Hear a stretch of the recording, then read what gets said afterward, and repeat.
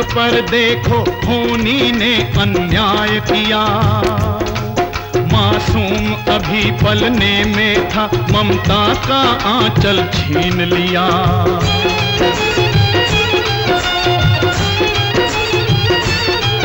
सौतेली माता से उसको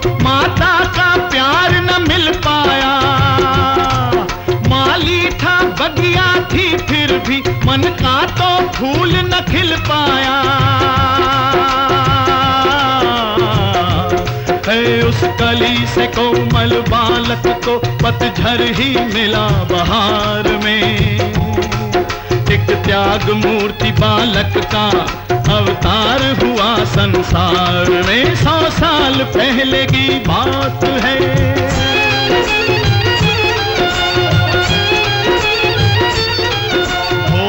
भोला भाला था और के दुख से दिल को दुखी कर लेता था।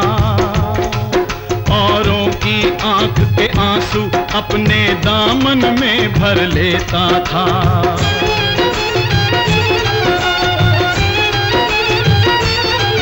थी चार दीवारी में नारी और था अज्ञान का अंधियारा।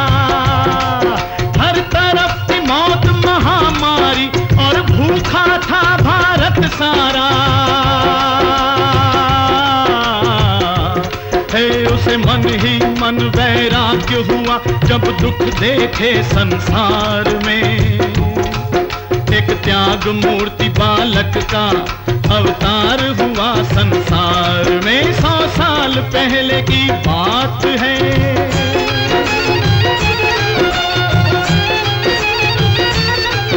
एक रोज निकल जाए न कहीं, बेटा बन में बन सन्यासी। सोच पिता ने मंगनी कर दी ढूंढ के लड़की चंदा से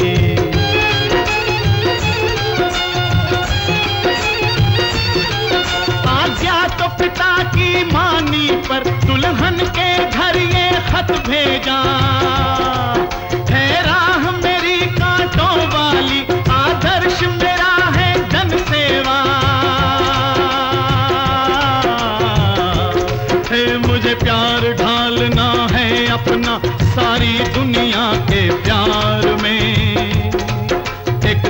त्याग मूर्ति बालक का अवतार हुआ संसार में सौ साल पहले की बात है।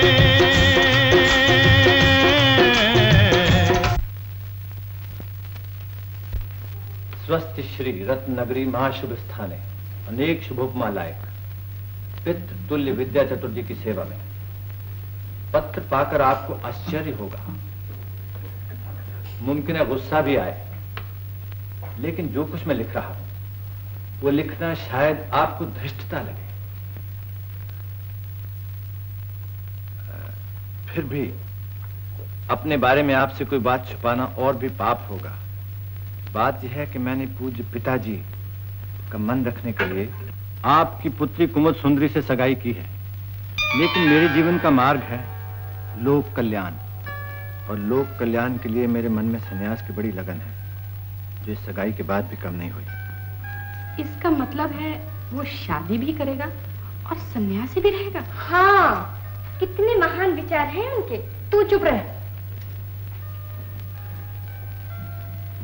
मेरा दिल तो तभी धड़का था जब मंगनी के दिन वो गायब हो गया।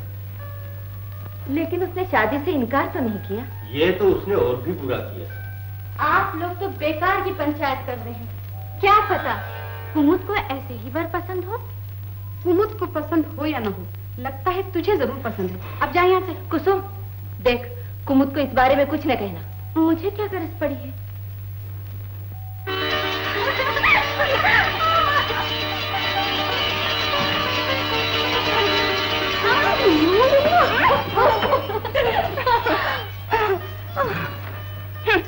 जो बात मुझसे पूछने की थी वो घर वालों को लिखने की क्या ज़रूरत थी?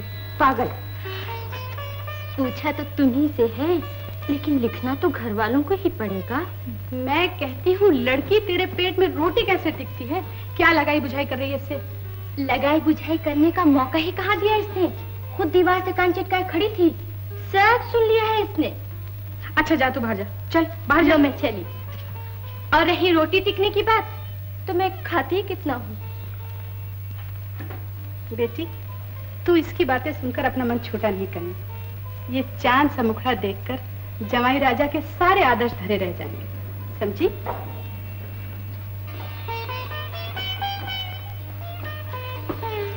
घर वालों के जवाब लिखने से पहले तुम अपना जवाब लिख देना नहीं तो सर पकड़ कर रोना पड़ेगा। तू फिर आ गई चल।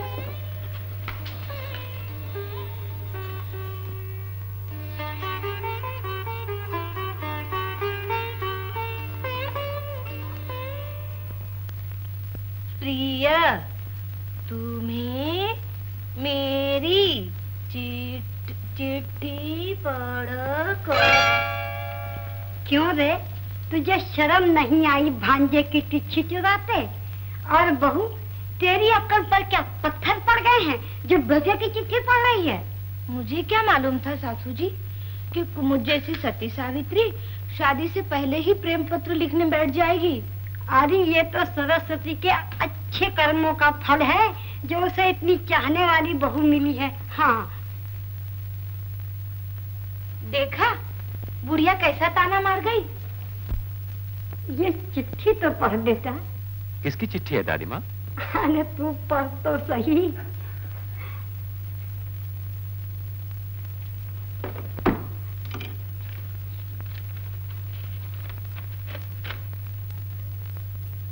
जरा ज़ोर से पढ़ बेटा। मैं भी तो सुनू क्या लिखा है? प्रिय तुम्हें मेरी चिट्ठी पढ़कर आश्चर्य तो ज़रूर होगा लेकिन क्या करूँ? अपने दिल के हाथों मजबूर होकर हिम्मत कर रही हूँ। ये किसकी चिट्ठी है? ये कैसी चिट्ठियाँ घर में आने लगी? तू पढ़ तो सही सब समझ में आ जाएगा। मैंने तुम्हें कभी देखा नहीं है, लेकिन हज़ार हज़ार बार तुम्हारी कल्पना की है। तुम्हारे सपने देखे हैं, तुम्हारी किताबों से तुम्हारे विचार जाने हैं, तुम्हारी कविताओं से तुम्हारे दिल की सुंदरता पहचानी है। ये किसकी चिट्ठी है? श्रीमान सरस्वती चंद्र। दादी माँ, वो सरस्वती चंद्र। ये मेरी चिट्ठी नहीं है दादी। ठीक है ठीक है बेटा।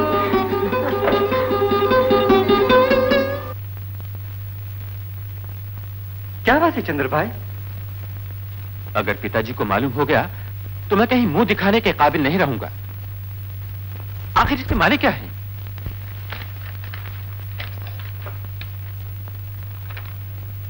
अरे ये तो भाभी की चिट्ठी है। उसको चिट्ठी लिखने की क्या ज़रूरत थी?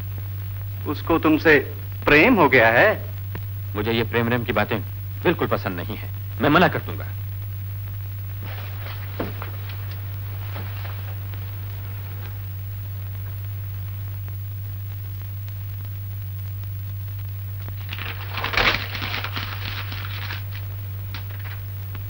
आज भाभी के खत से वो दिन याद आ गया जब तुमने मुझको पहला प्रेम पत्र लिखा था। हटो जी पाँच बच्चे हो गए। अब भी ऐसी बातें करते तुम्हें शर्म? नहीं आती? चंद्रकांत मुझे दफ्तर जल्दी पहुँचना है। ये चिट्ठी तुम खुद ही डाल देना। डाल देंगे साहब। कैसे हो भैया? अभी अच्छा हूँ भाभी।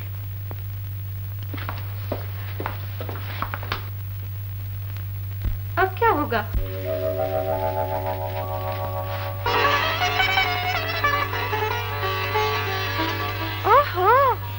इतनी लंबी चिट्ठी। प्यारी कुमुद, बस।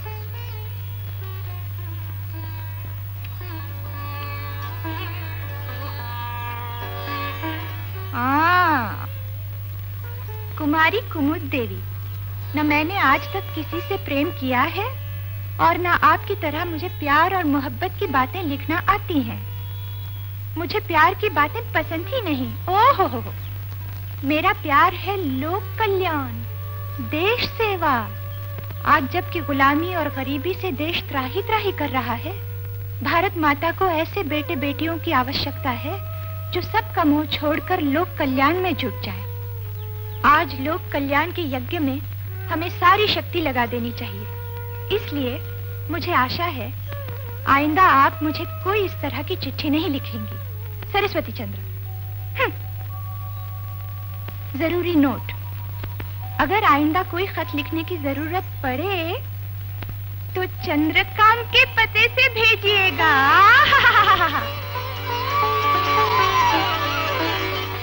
सचमुच तुम दुनिया के सबसे टेढ़े ब्रह्मचारी हो। अभी सीधा कर देती हूँ।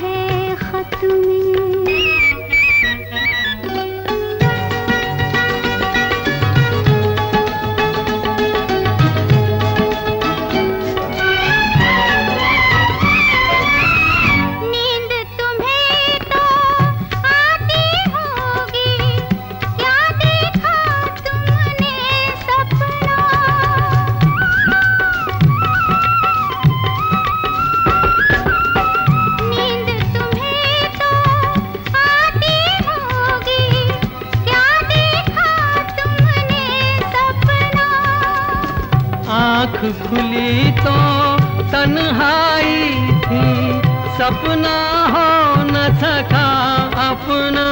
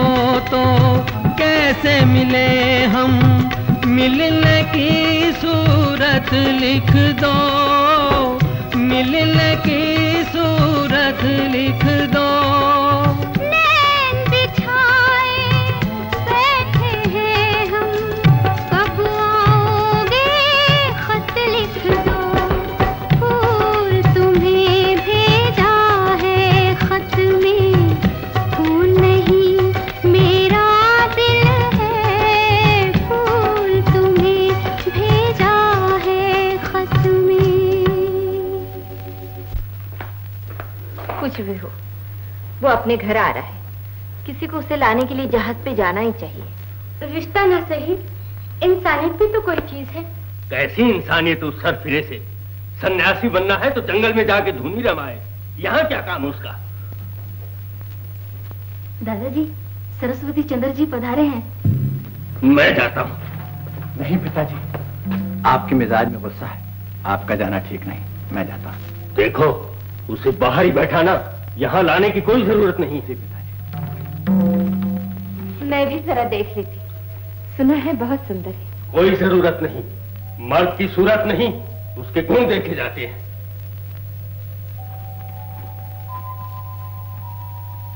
हाँ ठीक है ठीक है।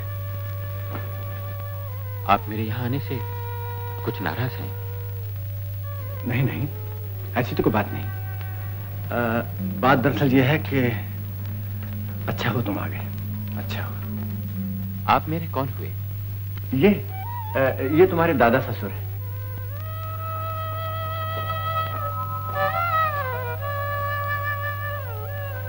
अब जीने का सबक तो आपसे लेना पड़ेगा, दादाजी। इस दुनिया में जिसके हाथ में तलवार है, वही जी सकता है। क्या बात कही है? मैंने तो शक्ल देखते ही पहचान लिया था कि लड़का बहुत गुनी है। तुम खड़े खड़े क्या कर रहे हो विद्या चतुर आओ बेटे, आओ। सुरदन सिंह, इनका सामान ऊपर पहुंचवाओ।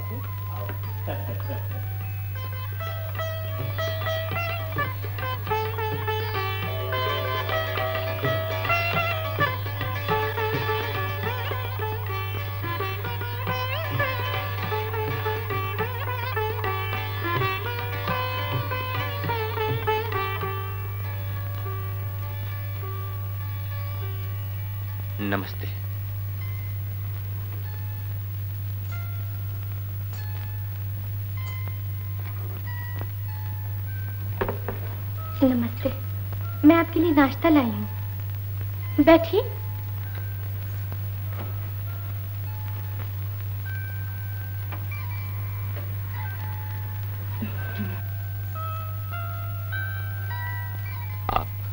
मैं आप नहीं हूँ। मैं उसकी छोटी बहन हूँ। कुसुम। जी? खाइए ना।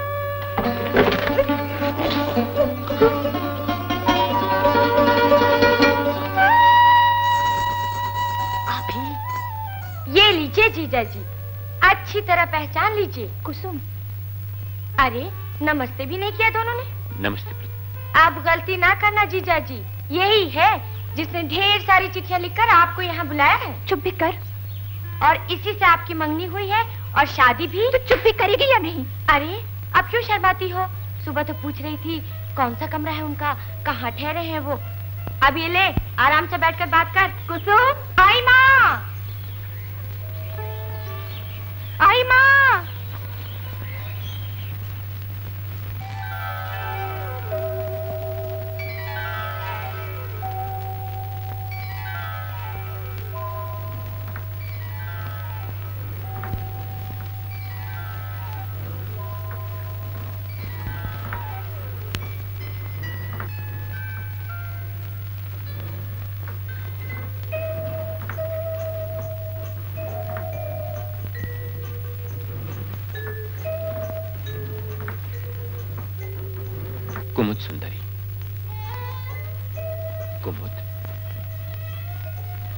तुमसे दूर था, तुम मुझे अपने पास बुलाती थी। अब मैं पास आ गया हूँ, तुम मुझसे दूर रहती हो। तुम मुझे क्यों सता रही हो? मेरे सामने आओ ना। मुझे तुमसे इतनी बातें करनी है, इतनी सारी बातें कि भगवान मुझे सात जन्म देगा तो भी पूरी नहीं होंगी। कुमुद। नमस्ते।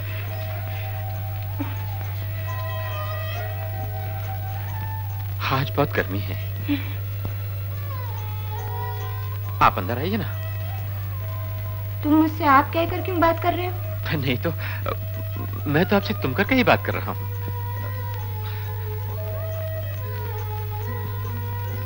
आइए बैठिए बैठिए। मेरा मतलब है बैठो बैठो ना।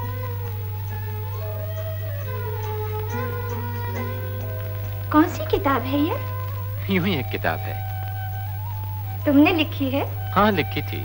मैं देखू? मुझे लोक कल्याण के लिए ब्रह्मचारी की बहुत इच्छा थी ना। जी? तुम बैठती क्यों नहीं? बैठो फिर आराम से बातें करेंगे। पहले तुम बैठो।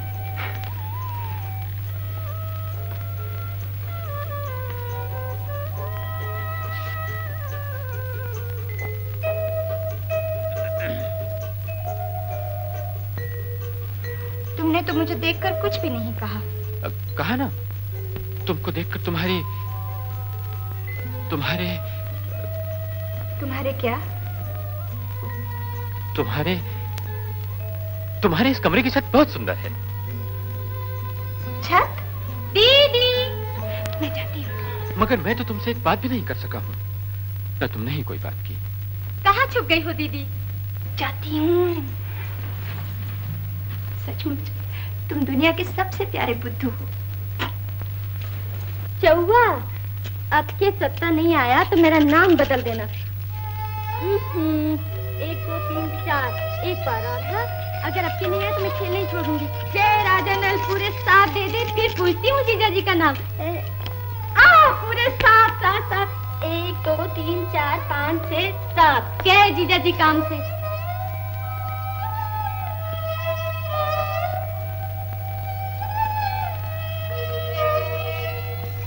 क्या हुआ? कुछ नहीं कुछ नहीं। आप खेलिए। मैं आपके लिए ठंडा शरबत लेकर आती हूँ। मुझे भी प्यास लगी है। ठहरो मैं भी चलती हूँ। नहीं नहीं दीदी तुम बैठो। बहुत बुरी मार खाई है इन्होंने। जरा फलवल खिला तब होश आएगा। चलो सुशीला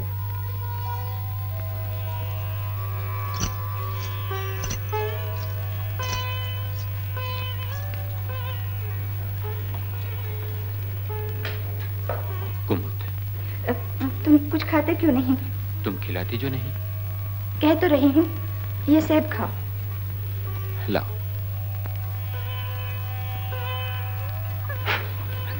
ऐसे तो भिकारी को भीख भी नहीं दी जाती। छी ऐसी बातें क्यों करते हो? तो फिर तो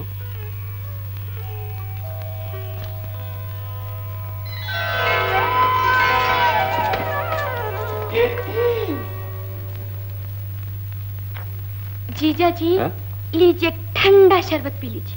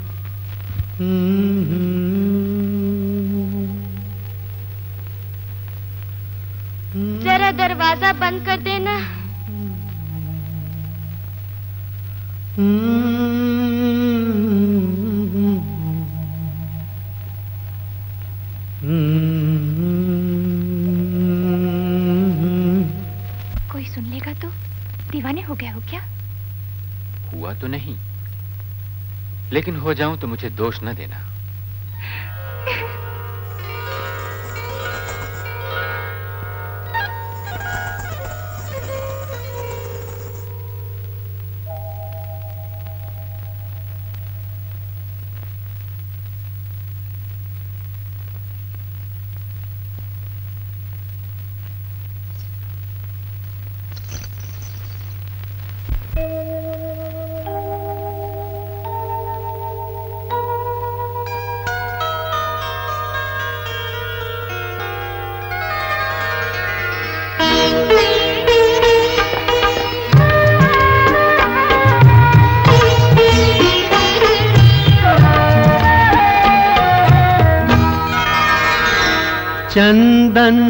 बदन, चंचल चितवन धीरे से तेरा ये मुस्काना चंदन सा बदन, चंचल चितवन धीरे से तेरा ये मुस्काना, मुझे दोष न देना। जगवालो, मुझे दोष न देना। जगवालो, हो जाऊँ दीवाना चंदन सा बदन चंचल चितवन।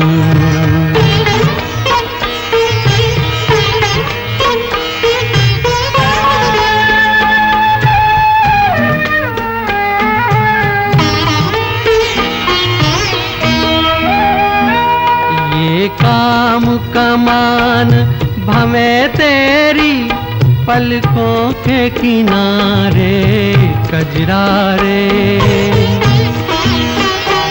ये काम कमान भमे तेरी पलकों के किनारे कजरा रे माथे पर सिंदूरी सूरज, होठों पे दहकते अंगारे। साया भी जो तेरा, पड़ जाए साया भी जो तेरा, पड़ जाए आबाद हो दिल का वीराना, चंदन सा बदन, चंचल चितवन।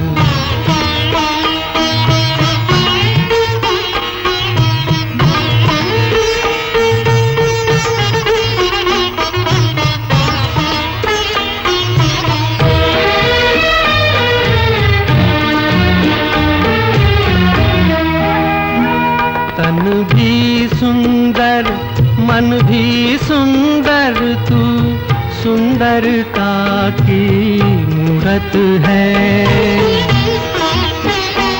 तन भी सुंदर, मन भी सुंदर, तू सुंदरता की मूरत है। किसी और को शायद कम होगी, मुझे तेरी बहुत ज़रूरत है।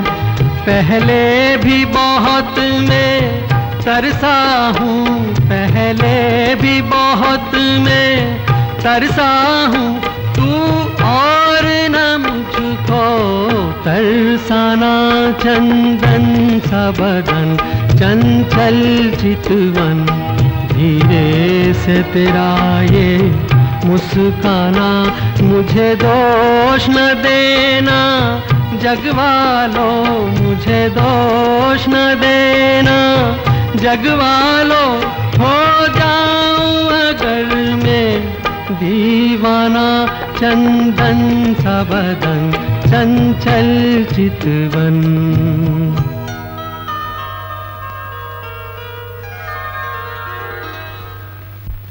इतनी सुबह हो गई और तूने मुझे जगाया भी नहीं। जगाती कैसे? सुबह ही तो तुम सोई हो।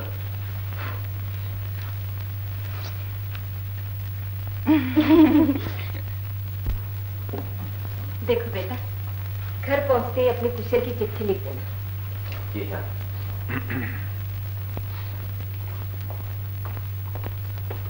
जी तेरा।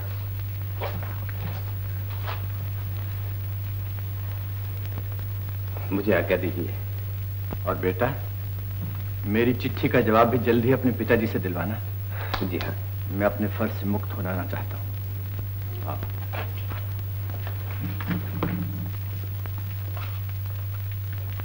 चलो बेटा देर हो रही है। जहाज़ का समय हो गया। चलो।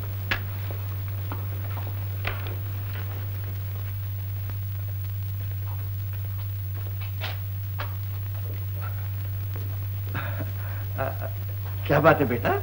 कुछ भूल आए हो? जी हाँ। क्या भूल है बेटा? मुझे बता मैं अभी ला देती हूँ। अरे तुम कहाँ ढूंढती फिरोगी? ठीक है ठीक है। जाओ बेटे तुम ही ले आओ। जी हाँ।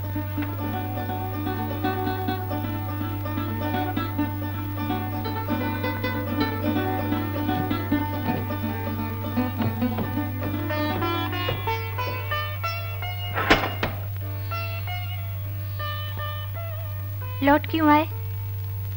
तुमसे एक बात करनी है। मुझसे बात करनी है।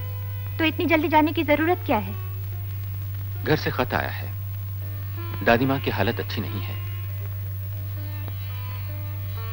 वैसे भी जितनी जल्दी मैं यहाँ से जाऊँगा उतनी ही जल्दी मैं तुम्हें अपना बना सकूँगा। न जाने ये जल्दी कितनी देर की होगी। तुम्हारे बिना जुदाई के दिन मैं कैसे काटूँगी? यही बात तो करनी है तुमसे। मैं जाने की तैयारी करके फंस गया हूँ। तुम्हारे बिना मैं नहीं जा सकता। लगता है मेरे पाँव पत्थर होकर ज़मीन में गड़ गए हैं। जी चाहता है जिस तरह भगवान कृष्ण ने रुक्मणी का हरण किया था वैसे ही मैं तुम्हें यहाँ से ले जाऊँ। मैंने कब ना कहा। इसके लिए अभी देर है। बाजे गाजे के साथ फिर वापस आना पड़ेगा।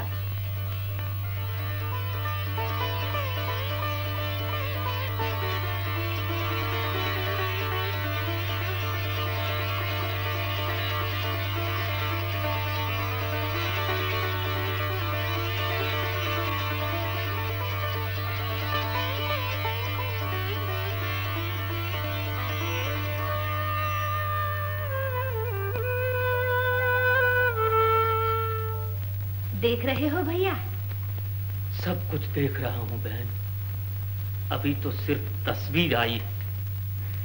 जब वो खुद पधारेंगी तब देखना।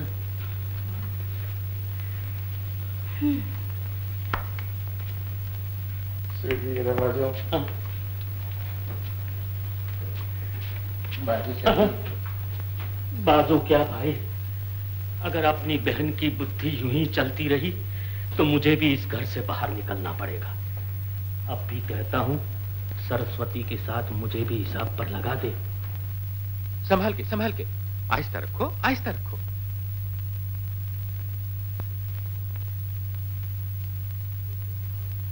अरे ये तो साक्षात लक्ष्मी का रूप है।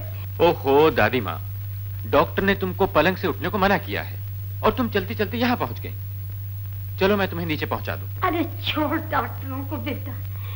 मेरे रोग का इलाज तो ये है। बस ये मेरे घर में आ जाए तो मैं खुशी खुशी परलोक सुधार जाऊँ बेटा। अरे चंद्रकांत अंगूठी तैयार हो गई? तुम्हारा हुक्म हो और तैयार ना हो ऐसा कभी हो सकता है? ये लो। पाँच हज़ार में कोई ऐसी अंगूठी बनवा दे मेरा नाम बदल देना। देखो दादी। अच्छी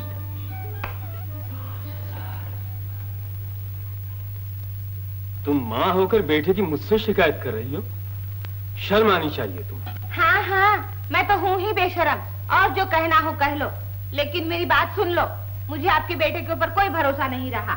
वो आँखें बंद करके पैसा पानी की तरह बहा रहा है। लेकिन आपको तो आँखें खोलनी चाहिए। मेरा धन भाई भी तो आप ही का बेटा है। या उसे कहीं से उठा कर लाए हो? आप अभी से दोनों का हिस्सा अलग अलग कर दो।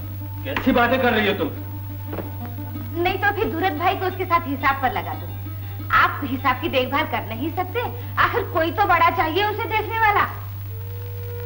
चंद्रकांत प्यार मुझको रास नहीं आया। क्या हुआ? पिताजी ने कुछ कहा? मुझे किसी ने कुछ भी नहीं कहा। मैं सब समझता हूँ।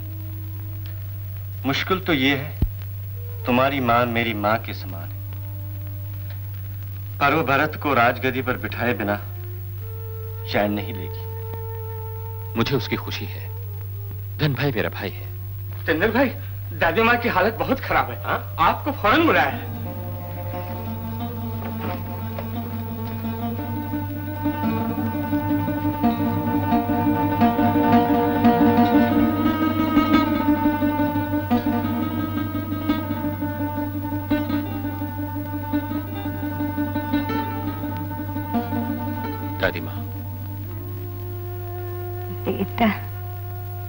सारी जायदाद तेरे नाम कर दी है। नहीं दादी माँ ये मुझे नहीं चाहिए। तू बहुत भोला है। तूने दुनिया नहीं देखी। मैं सब देख रही हूँ बेटा। तो ऐसा करो दादी माँ ये मिल्कियत तुम धन भाई को दे दो।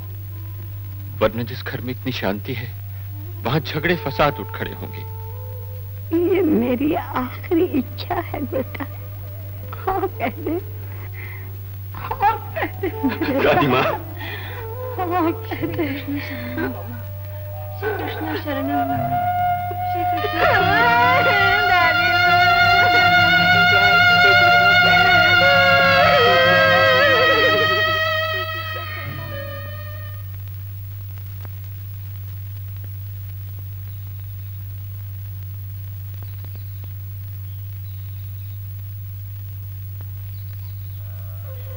चिट्ठी है? ला दे इधर। कुसुम किसी की चिट्ठी पढ़ना अच्छा नहीं। दे देना। दे दे वरना। वरना क्या करोगी? पिताजी से कहूँगी। हम्म क्या कहोगी? कहूँगी? कुछ भी कहूँ। तुझे क्या? दे देना। नहीं दे दे नहीं नहीं नहीं नहीं। आओ आओ आओ अरे अरे अरे अरे अरे अरे। अरे पगली ये सरस्वती की चिट्ठी नहीं है। तेरी शादी की चिट्ठी है पिताजी ने लिखी है। देख। मैं तो मालिक को देने जा रही थी कि डाक में डाल देगा। क्यों? अब चिट्ठी नहीं चाहिए। इस चिट्ठी को लेकर मैं क्या करूँ? दे आ माली को। अरे अरे ये तो पूछ के शादी कब की है। मैं क्यों पूछूँ?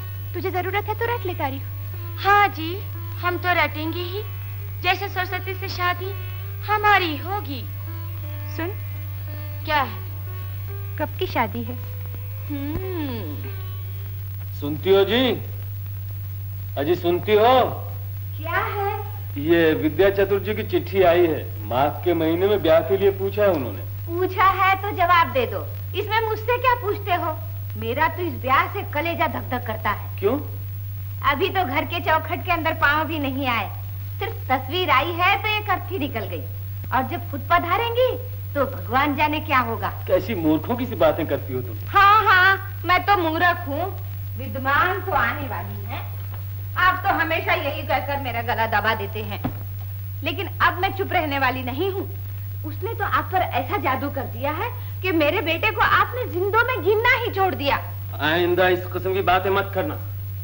मेरे दोनों बेटे मेरी दोनों आँखों के बराबर जाओ जाओ।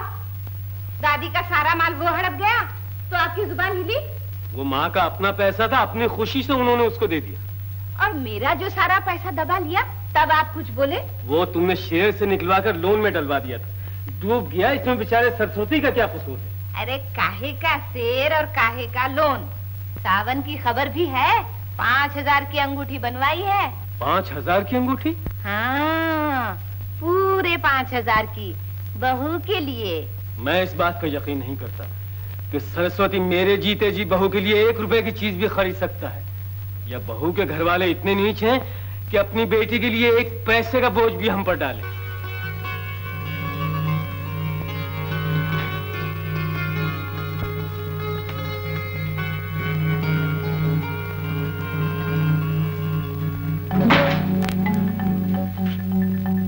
पिताजी, आप मुझे नीचे बुला लेते। मुझे जानकर दुख हुआ बेटा। कि ससुराल से आने के बाद तुम्हारे तौर तरीके ही बदल गए। मैं जानता हूँ जवानी अंधी होती है और एक औरत इसका फ़ायदा उठाकर एक घर को बर्बाद भी कर सकती है। शादी से पहले तुम्हारी यह हालत है जब ये घर में आएगी तो क्या होगा? ये आपकी गलत फहमी है पिताजी। मैं अंधा नहीं क्या बालकेश्वर के बंगले पर तुमने फजूल खर्ची नहीं की? क्या बहू के लिए तुमने पाँच हज़ार रुपए की अंगूठी नहीं बनवाई? क्या ससुराल वालों के कहने में आकर तुमने माँ से मिल्कियत नहीं लिखवाई? पिताजी आप मुझे सफ़ाई का मौका तो दीजिए। अब तुम जरा खामोश भी तो रहो।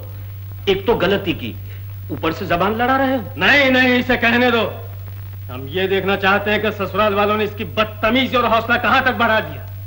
किस बात की सफ़ाई दोगे? क्या गुमान का पैसा लोन में लगाकर तुमने डबो नहीं दिया? क्या तुमने अपना पैसा शेयर में लगाकर उसका मुनाफा नहीं कमाया? क्या ये सब कुछ करते वक्त तुमने मुझसे राय ली थी?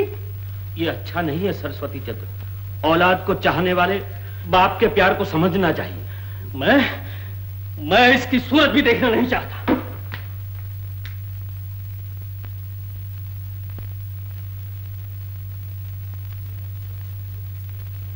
मैंने आज सरस्वती को गुस्से में बहुत कुछ कह दिया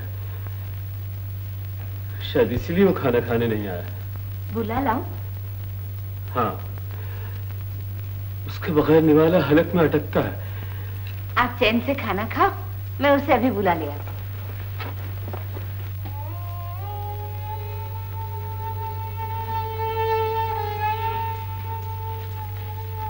खाना खाने क्यों नहीं आए? किस बात की सजा दे रहे हो तुम अपने बाप को? मुझे भूख नहीं है माँ। भूख नहीं है? या अपने बाप की रोटी नहीं खाना चाहते।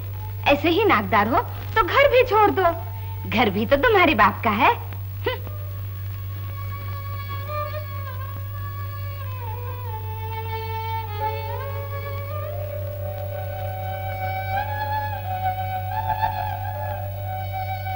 शादी से पहले तुम्हारी ये हालत है जब ये घर में आएगी तो क्या होगा?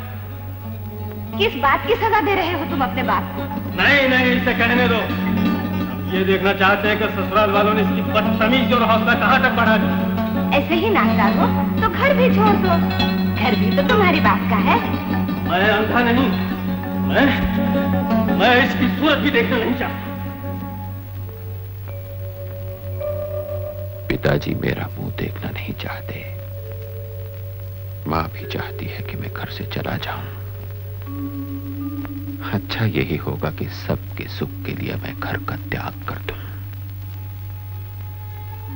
मुझे मुझे कुमुद का भी त्याग करना होगा।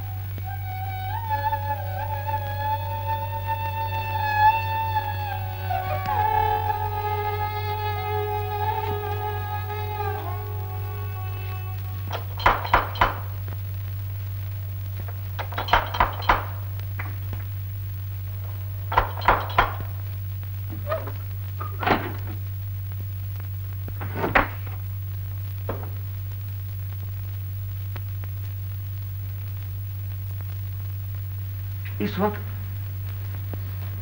क्या बात है चंद्र? ये दादी का पैसा है। और ये जायदाद के कागज़ है। इसके एक एक पाई लोक कल्याण के लिए है। लेकिन बात क्या है भैया? साफ़ साफ़ बताओ ना। क्या बताऊँ भाभी? कितने मीठे सपने थे। मैं और कुमुद हमारा घर, हमारी छोटी सी दुनिया। लेकिन अब कुछ नहीं रहा। पिताजी का दोष नहीं, माँ ने ही उनको मेरे खिलाफ भड़काया है। आज उन्होंने माँ के कहने में आकर भोली कुमुद और उसके घर वालों पर जो दोष लगाए हैं उसके बाद शादी करके मैं कुमुद को इस घर में सुखी नहीं रख सकूँगा। क्यों? आप और कुमुद बालकेश्वर के बंगले में अपना अलग घर बसा लेना। नहीं नहीं। अलग होकर मैं पिताजी का दिल नहीं तोड़ सकता। आखिर तुम करना क्या चाहते हो? जो करना था वो कर चुका हूँ।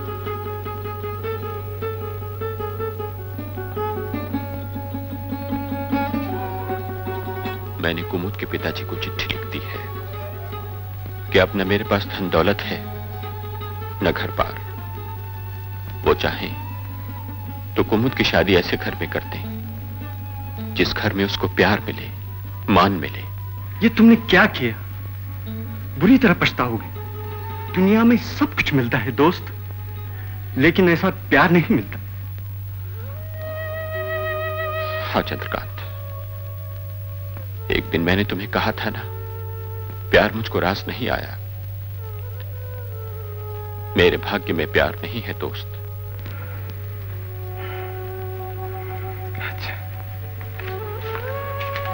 जा कहाँ रहे हो? बिना कुछ फैसला किए मैं तुम्हें जाने नहीं दूँगा। कुछ तो सोचिए। बेचारी कुमुद का क्या हाल होगा? फिर कहता हूँ तुमने बहुत जल्दबाजी की। कुमुद ने आपका क्या बिगाड़ा है? माँ बाप से आपका झगड़ा हुआ है। उसके लिए कुमुद को क्यों सजा दे रहे हैं? मैं तो कहूँगा तुम फ़ौरन जहाँ से चले जाओ। हाँ भैया जाकर कुमुद से सब कुछ कह दीजिए। मुझे विश्वास है उसे आपसे प्यार है आपकी धन दौलत से नहीं। मैं क्या करूँ भाभी? मेरी बात मानिए अब भी कुछ नहीं बिगड़ा। आप कुमुद के घर चले जाइए। जाएँगे ना? भाभी।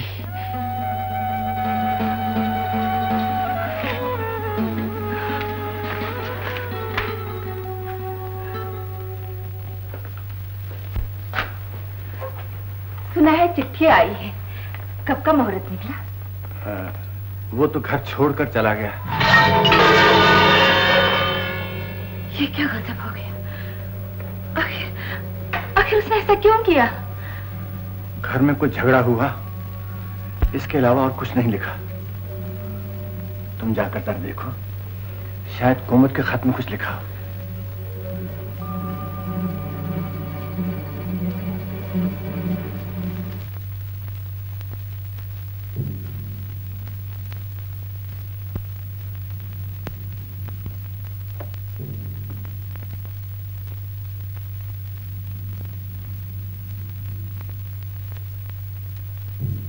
कुमुद? कुमुद बेटी।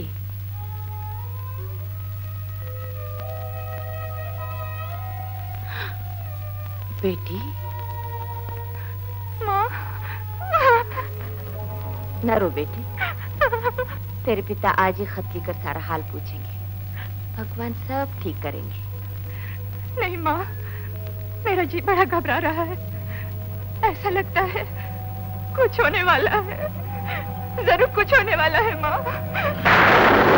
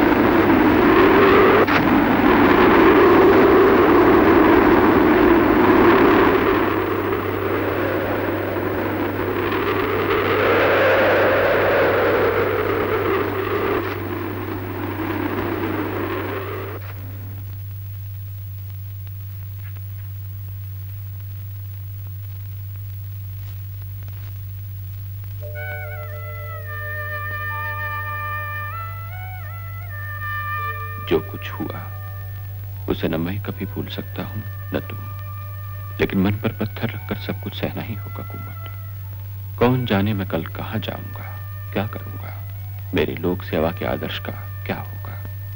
कुमुद और चंद्र मिल नहीं पाते, लेकिन उनकी आशा कभी नहीं टूटती। अब तो तुम्हारी पवित्र प्रेम की याद ही मेरा जीवन है। एक ही कामना करता हूँ कि तुम सदा सुखी रहो। तुम्हारा भागा चंद्र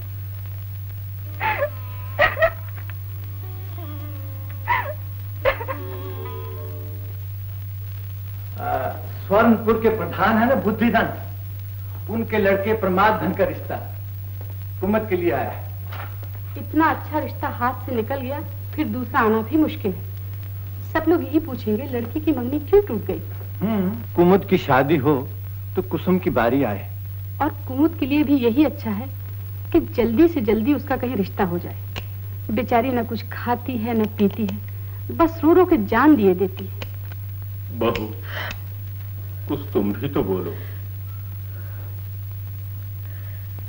मैं क्या बोलूँ? मेरी लड़की के दिल पर तो पहाड़ टूट पड़ा है।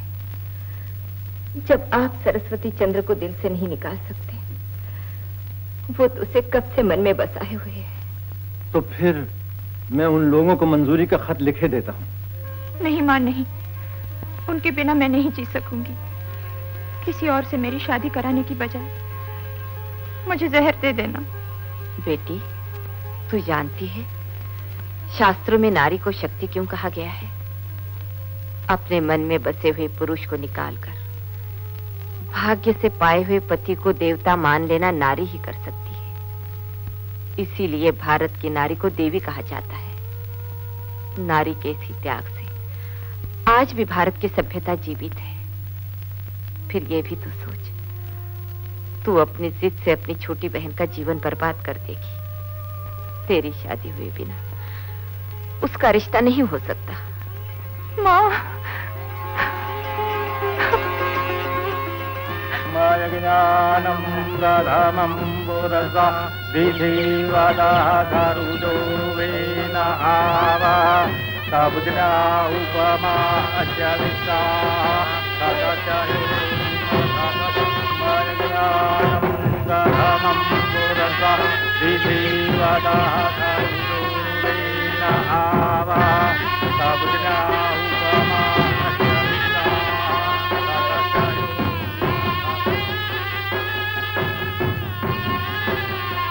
सुखी रहो बेटी।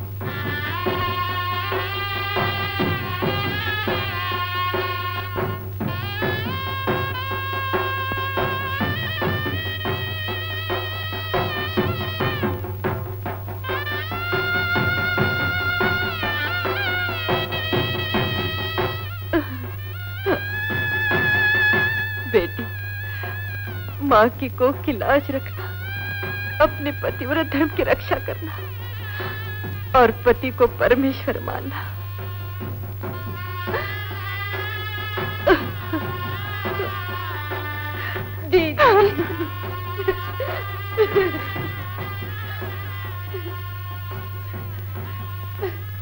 रो मत कुसुम।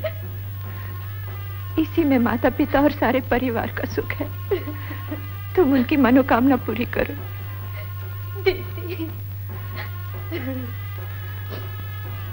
और कभी उनका पता मिले?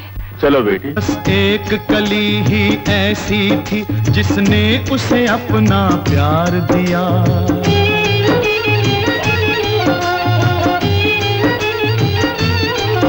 किस्मत तो देखो वो भी कली।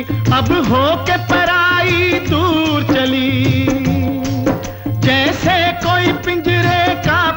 पंछी यूँ हो वो मजबूर चली।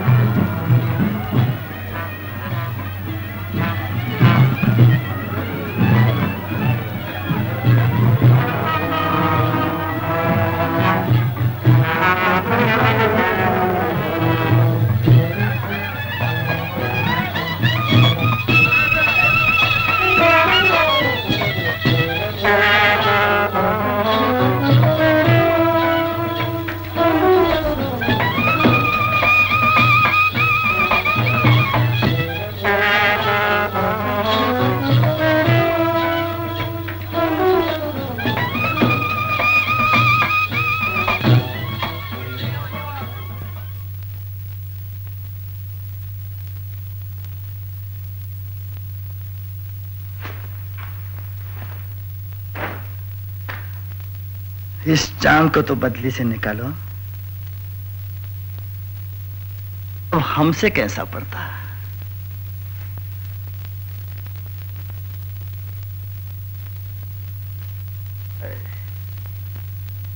कितना भाग्यवान हो।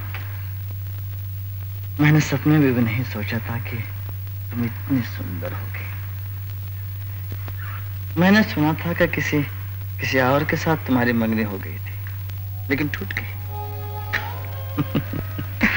अब मैं सोचता हूँ कि कितना बदनसीब था वो मैं आपकी दासी हूँ ऐसे नहीं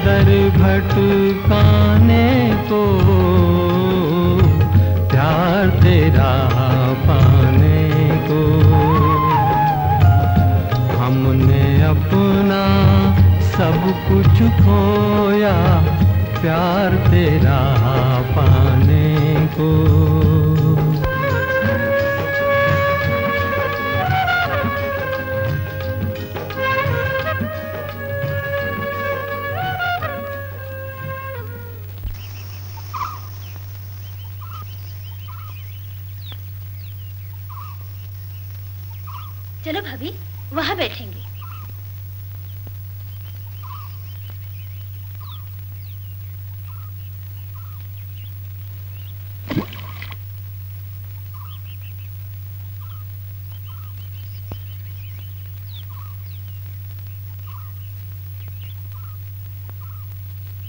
भाभी जरा देखो तो। क्या हुआ? एक आदमी बिल्कुल तालाब के किनारे पड़ा सो रहा है। पराये पुरुष की तुम क्यों चिंता करती हो? चलो वापस आओ। नहीं भाभी जरा सी करवट लेगा तो सीधा तालाब में जाएगा। अच्छा तो जाके जगा दो उसे। अरे ओ भाई। अरे अरे अरे जरा संभल के। नहीं तो जाओगे सीधे पानी के अंदर।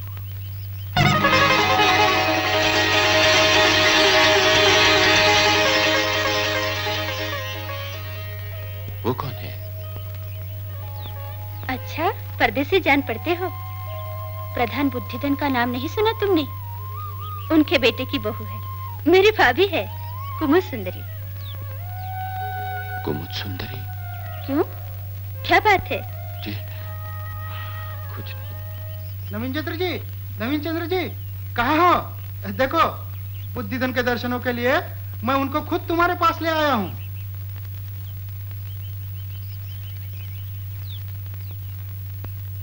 नमस्ते प्रधान जी। तुम कहाँ के रहने वाले हो? बंबई। यहाँ किस काम से आए हो? काम। दुनिया देख रहा हूँ। कुछ पढ़े लिखे हो? कुछ अंग्रेज़ी कुछ संस्कृत। तुम्हारा नाम? नवीन चंद्र। किस जात के हो? आप ही की जात का हूँ। अरे ये पहले क्यों नहीं बताया? आज से तुम धर्मशाले में नहीं हमारे घर रहोगे। बड़ी कृपा है आपकी। लेकिन मैं तो आज ही जाना चाहता हूँ। ये कैसा हो सकता है? अरे पुरोहित जी जी। इनका सामान हमारे घर भिजवा दीजिएगा। जी।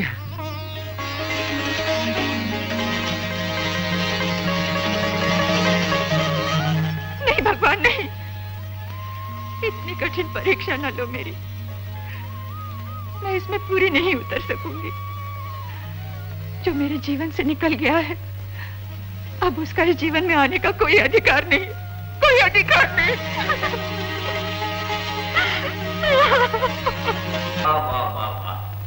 आज तो समझी के घर का खाना याद आ गया। बहू के हाथ का खाना इतना पसंद आया कि देखते तक नहीं कि मेहमान ने कुछ खाया भी या नहीं। अरे अलग मिठाई तो लिया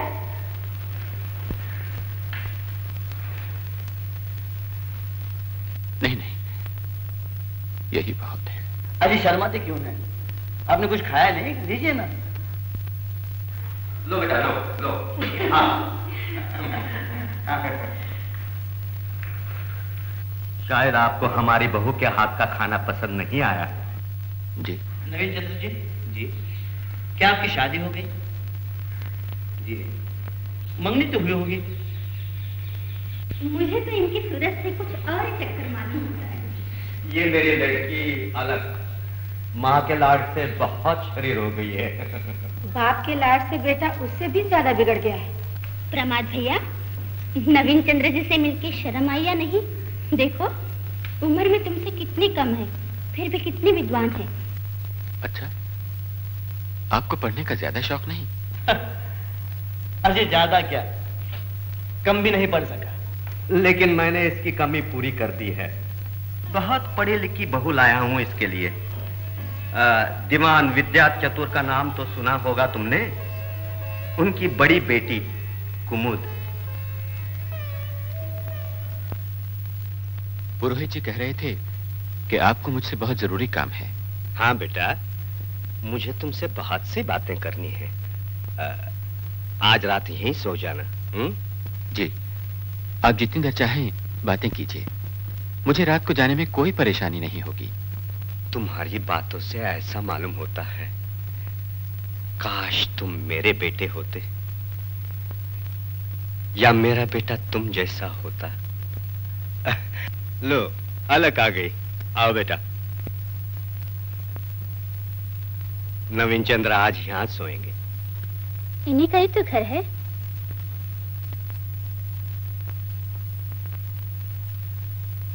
ये बात छुपी नहीं है कि मैं कुछ पढ़ा लिखा आदमी नहीं हूँ मगर सच्चाई और मेहनत से दीवान बन गया हूँ।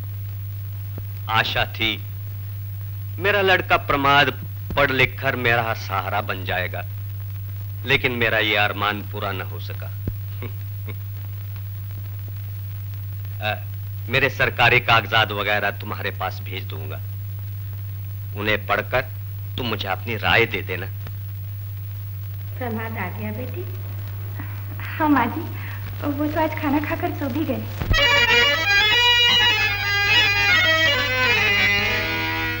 क्या औरों में देखा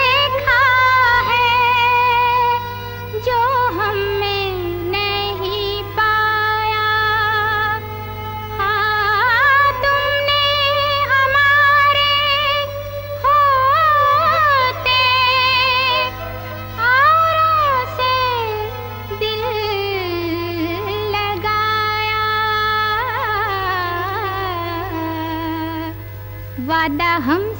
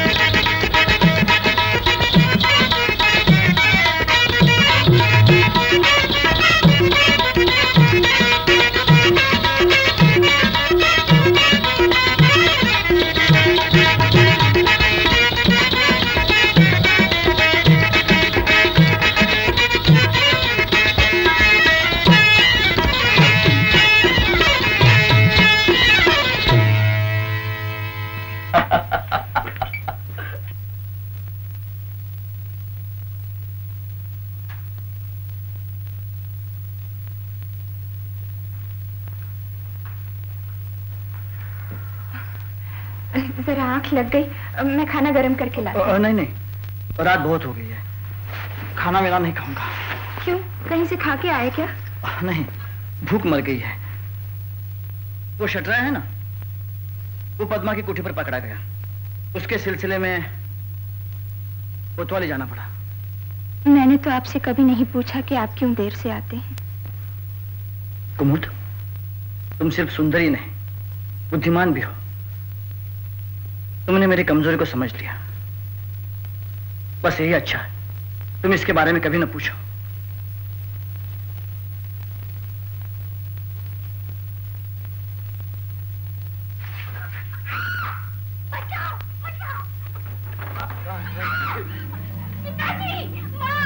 सुनिए उठिए।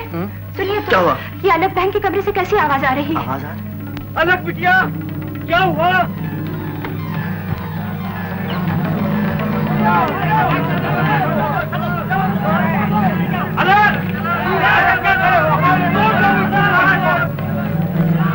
अरे अरे ये खिड़की खुली शायद यहीं से घुसा होगा।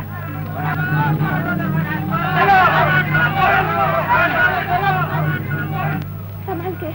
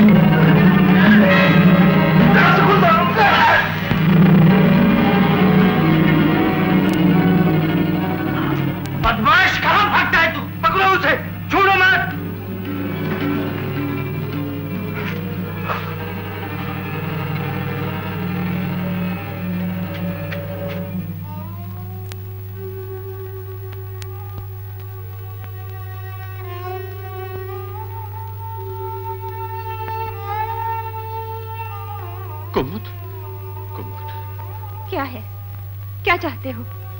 पतिव्रत धर्म के लिए जो मैं तपस्या कर रही हूँ उसे भी भंग करना चाहते हो? तुमने मुझको समझने में भूल की है कुमुद तुम्हारा और मेरा धर्म अलग अलग नहीं है। हे भगवान! मुझे हाथ न लगाओ। मुझे छोड़ दो। मुझसे दूर हो जाओ।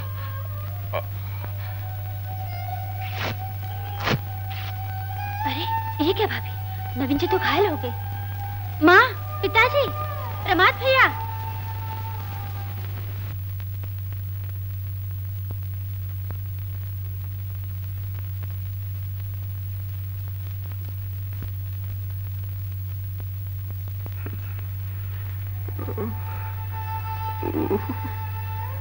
नवीन जी बहुत दर्द है क्या?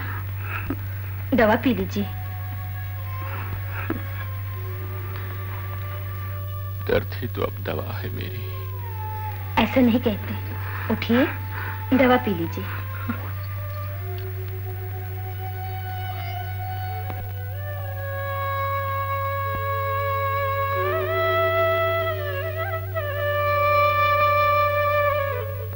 मैं मरना नहीं चाहता मैं। मैं अपने पाप का प्रायश्चित किए बिना मरना नहीं चाहता।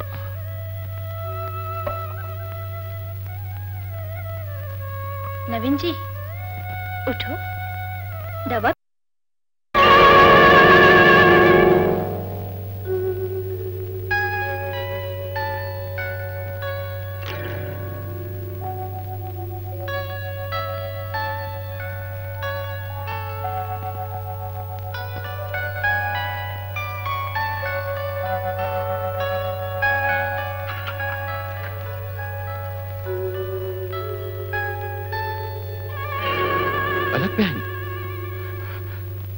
मैं तो तुम्हारा भाई हूँ। ये मैंने क्या किया? मुझे क्षमा कर दो। मैंने अपने मुँह पर कलंक लगा लिया। अब मैं कैसे दुनिया को मुँह दिखाऊँगी? नहीं बहन मैं जानता हूँ तुम्हारी आत्मा पवित्र है। तुम मेरे सच्चे भाई हो। मुझे क्षमा कर दो। इस शर्म को मन से निकाल दो बहन। मुझे दवा पिलाओ।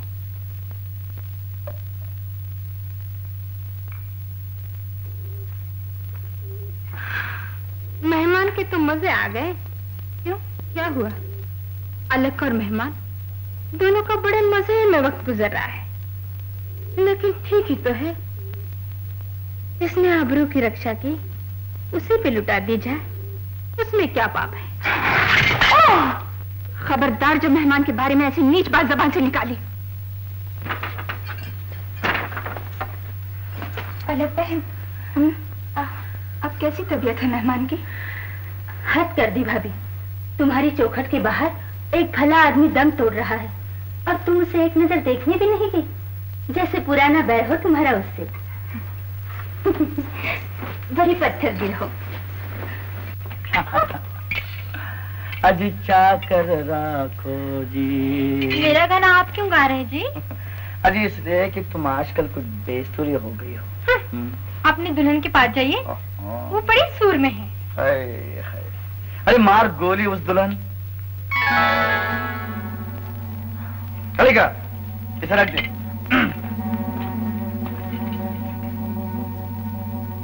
पूछ रहा था कि तुम कहाँ हो? ओ, हाँ तुम्हारे मैके से तुम्हारी चिट्ठी जो आई है बहुत थक गया हूँ। सर में दर्द भी है। तुम्हारे हाथ से गर्म दूध मिल जाए तो मज़ा आ जाए।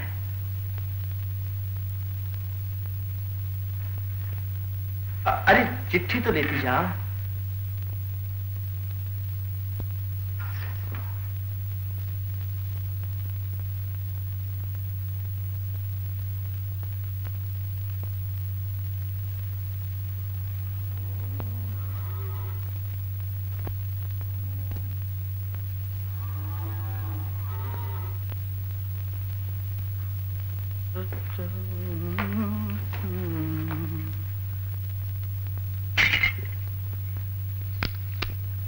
हाय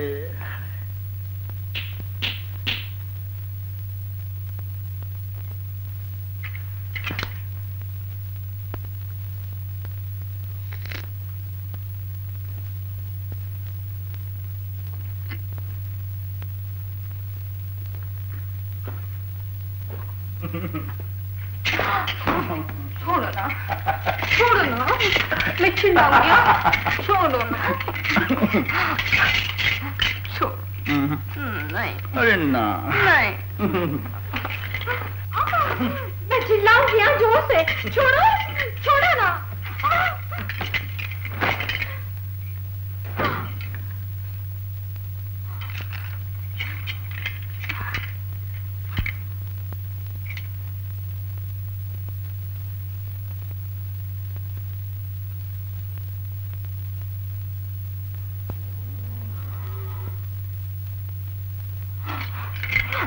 कहाँ चली। छोड़ो मुझे। क्या तुम मुझे ऐसे ऐसे समझते हो? मैं पद्मा नहीं हूँ इज्जतदार लड़की हूँ। हाँ। बड़ी आई इज्जतदार।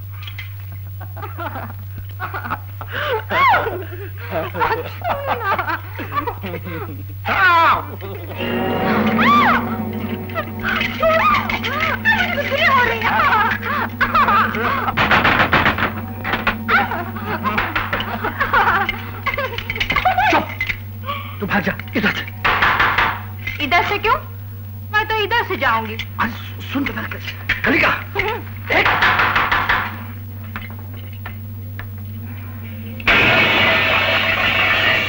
मेरा हाथ क्यों पकड़ती है मालकी? आपने पति को संभालिए मेरी वजह से कम से कम रात को घर तो लौटाते हैं। नहीं तो पद्मा की कोठी पर भरे बाज़ार में खानदान का मुँह काला करवाते हैं।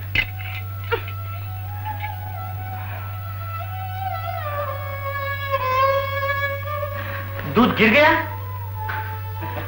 कोई बात नहीं, कोई बात नहीं। खत पढ़ लिया?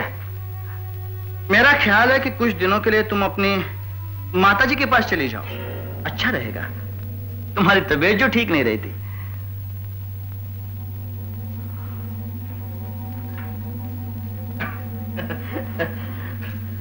खत के चक्कर में ये हाथ में देना ही भूल गया। तुम्हारे लिए लाया। पसंद है ना? आओ। अपने हाथों से पहना दो मुझ पे दया कीजिए मुझ पे दया अरे, अरे। कीजिए। अरे कपड़े क्यों खराब कर रही हो? मुझे बाहर जाना है। मुझे छोड़ के ना जाइए। आज मुझे अकेला छोड़ के ना जाइए।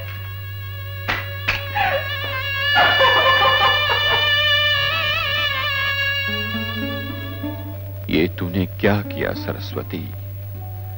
तूने गाय जैसी भोली लड़की को कसाई के हाथ सौंप दिया। ये सब तेरी वजह से हुआ है।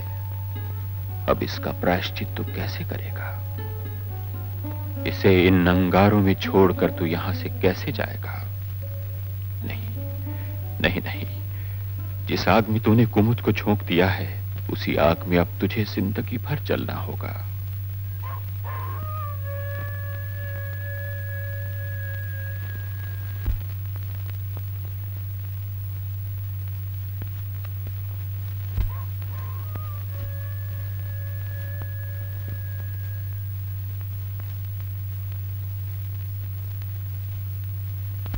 कुमुद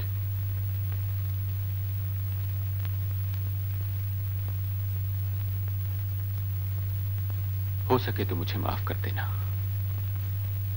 मैंने ही तुम्हारी ज़िंदगी बर्बाद कर दी है।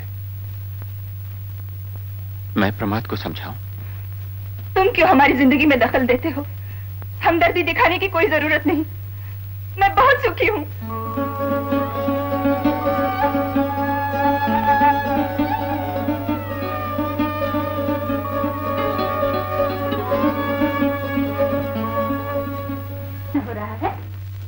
खो गई कि दिया बत्ती भी नहीं थी। चलो ना नीचे गरबा के लिए सब लोग तुम्हारी राह देख रहे हैं।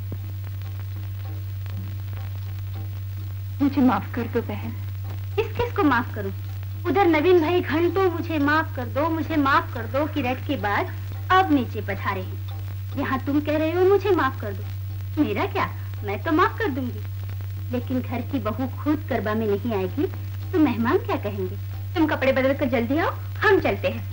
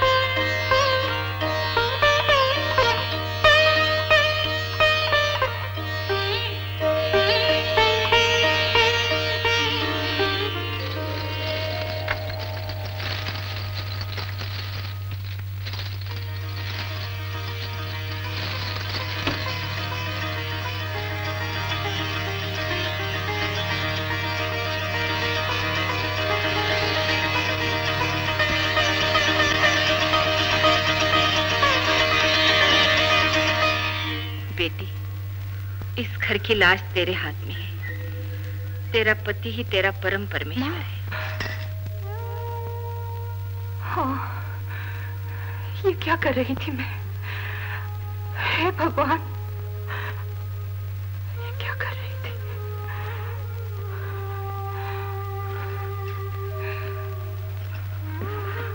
अम्बा माँ। मेरी माँ के रूप में आकर तूने ही मेरी रक्षा की। मेरा ये अपराध क्षमा कर दो। सरस्वती के सुख के लिए मैं क्या करूँ? मैं क्या करूँ, माँ?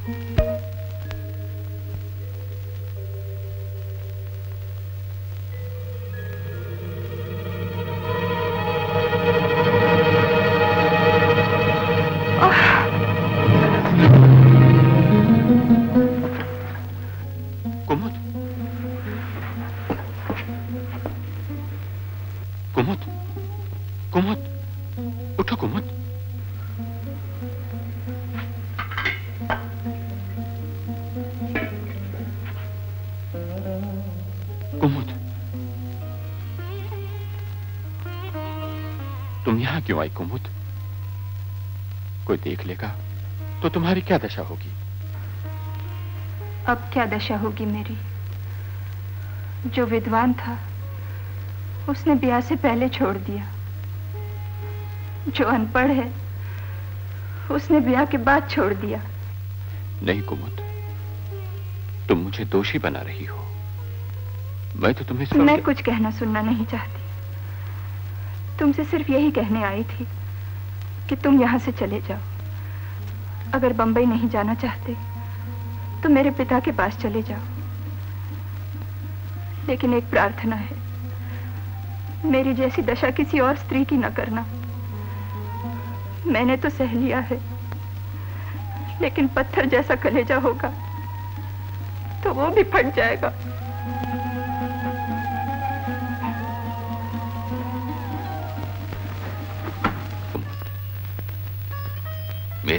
मेरे रहने से तुम्हारे दुख बढ़ते जा रहे हैं। मेरी वजह से तुम्हें और दुख न मिले। इसलिए जा रहा हूँ।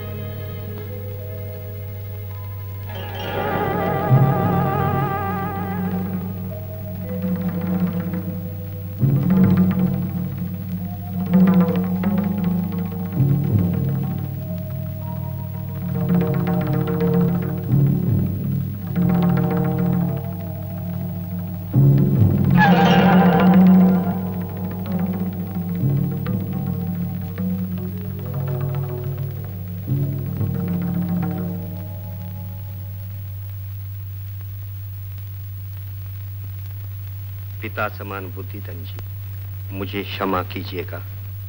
मैं जा रहा हूँ। मुझे अगर मालूम होता कि मैं कहाँ जा रहा हूँ तो ज़रूर लिख जाता। लेकिन आप लोग मेरी चिंता न कीजिएगा। भगवान आपके घर को सुख और शांति का सागर बना दे। आपका नवीन चंद्र। ऐसी क्या बात हो गई? बगैर कुछ कहे सुने ही चला गया। बहू, तुम तो बराबर वाले कमरे में थी ना? तुम्हें भी बेटा कुछ सुनाई नहीं दिया? कुछ पता नहीं चला? बहुत बचपना किया उसने। समय बहुत खराब है। डाकू दिन दहाड़े मुसाफिरों को लूट रहे हैं। क्यों भैया? आपने मुझे पहचाना के नहीं? नहीं। अरे अपने जन्मदाता को नहीं पहचाना? इन्होंने एक बार तुम्हारी जान बचाई थी। हरी बोल।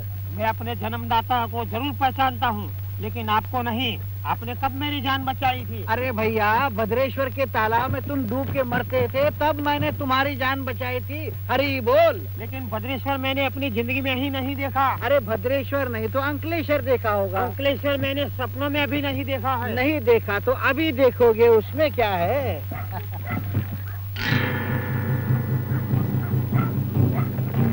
डाकू अरे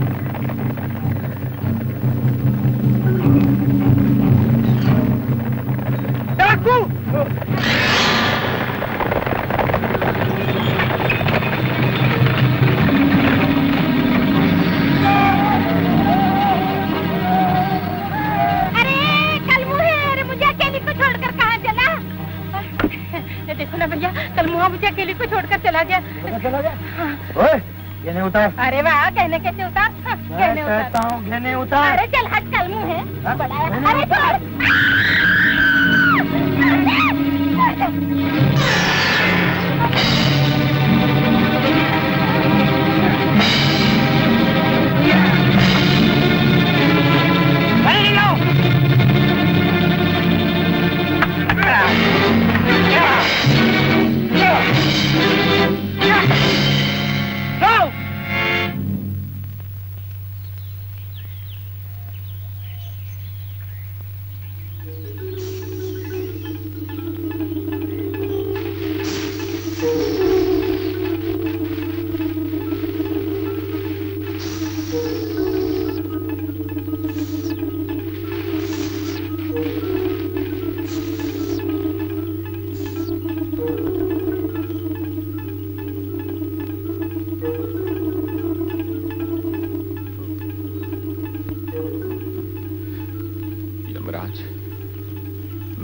का जीवन नष्ट करने का पाप लेकर नहीं मरना चाहता। मुझे इस पाप का प्रायश्चित कर लेने दो। इसके बाद मुझे मौत का कोई डर नहीं।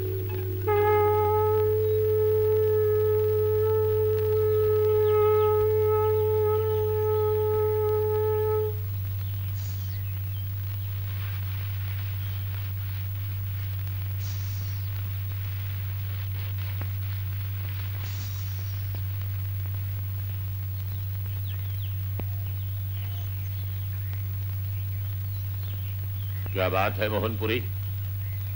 गुरुदेव एक मनुष्य पड़ा है। मालूम नहीं जीवित है या मर गया। उसे उठा लो वत्स। इस समय का चौघड़िया शुभ है। ये कोई अवश्य महान आत्मा है। इसे मठ में ले चलो। जो आज्ञा गुरुदेव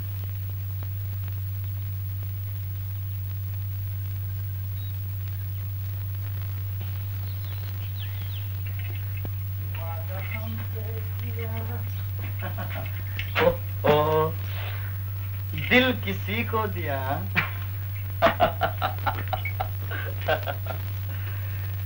क्यों? रूठ गई क्या? हाँ? छोड़ो मुझे। हाँ? फिर इतनी देर? अरे दिल न तोड़ करेगा दिल न तोड़। अरे मैं भी क्या करूँ? उस सती सावित्री की वजह से तो मुझे घर निकाला हो गया। तुझसे दिल लगाने का मौका ही नहीं मिलता। और ना तू ही बता मेरी रानी क्या तुझे छोड़ के मैं कभी नल दमयंती का नाटक भी देखने गया? हाँ? तो देवी जी को भद्रेश्वर क्यों नहीं भेज देते? अरे जाती ही नहीं। मैं तो अम्बा देवी को पाँच रुपए के पेड़े चढ़ाऊ अगर चली जाए। हम्म, पाँच रुपए की क्यों? ढाई रुपए की चढ़ा। अभी विनती स्वीकार कर लेगी।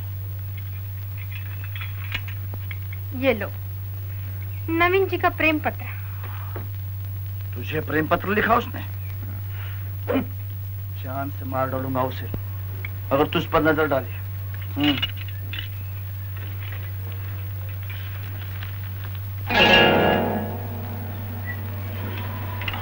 क्या नाम? जी हाँ। अब क्या इरादा हाँ?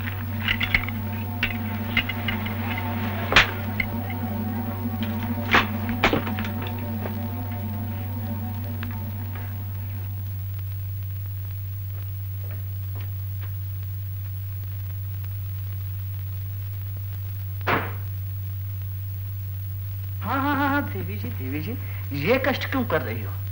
मैं तो पापी आदमी हूँ मेरा पाप और क्यों बढ़ाती हो? और फिर मैं तुम्हारा देवता थोड़े हूँ तुम्हारे देवता तो चले गए। कैसी बातें कर रहे हैं आप। हाँ हाँ। मेरी बातें तुम्हारी समझ में क्यों आने लगी? मैं जो ठहरा गंवार जाहिल और तुम पढ़ी लिखी। लेकिन देवी जी मैं दिल का इतना बुरा आदमी नहीं हूँ।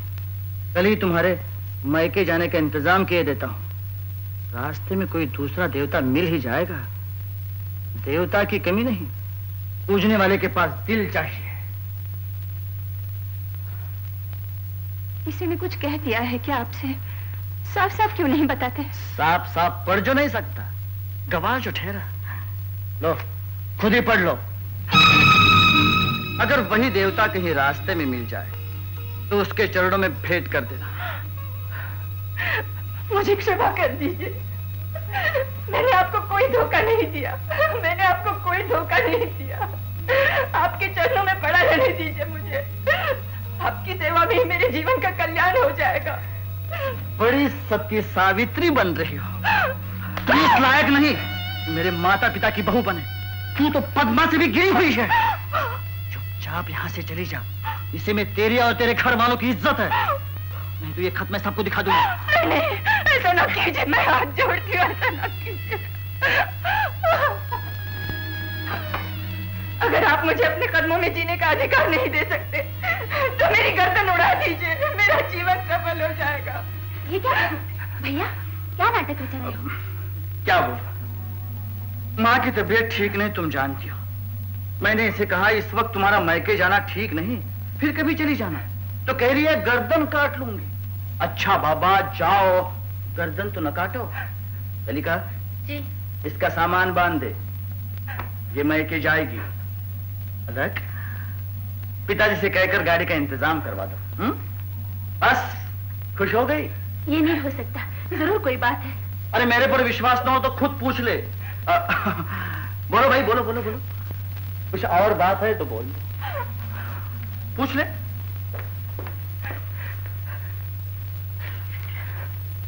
क्या बात है भाभी? मुझसे नहीं कहोगी? कुछ नहीं। कुछ नहीं अलग बहन। साथ बहुत से आदमी कर दिए हैं और घर पे खबर भी दी है। वहाँ से तुम्हें ज़रूर कोई लेने आ जाएगा। बेटी तुम्हारे वहाँ पहुँचने पर घर में आनंद आ जाएगा। और यहाँ सब सुना सुना हो जाएगा। अगर मुझे कुछ हो गया तो इन सबको कौन देखेगा? ऐसा न कहिए माँ जी आपको कुछ भी नहीं होगा। भगवान सब ठीक करेंगे। अच्छा बेटी जल्दी आ जाना। जब भी आप इन्हें भेजेंगी मैं चली आऊँगी। ए, जल्दी करो जल्दी करो।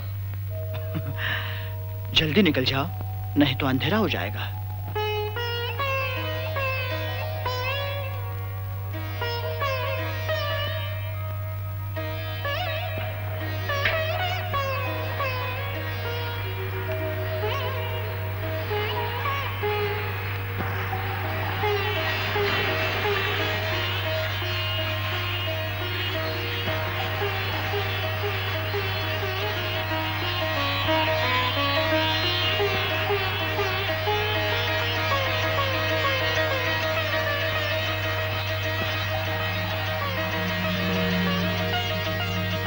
प्यारी कुमुद बहन, तुम्हें मैके भेजने का तो सिर्फ़ बहाना है। वो दोनों चाहते हैं कि तुम हमेशा के लिए दूर हो जाओ और इस घर में कभी ना आ सको।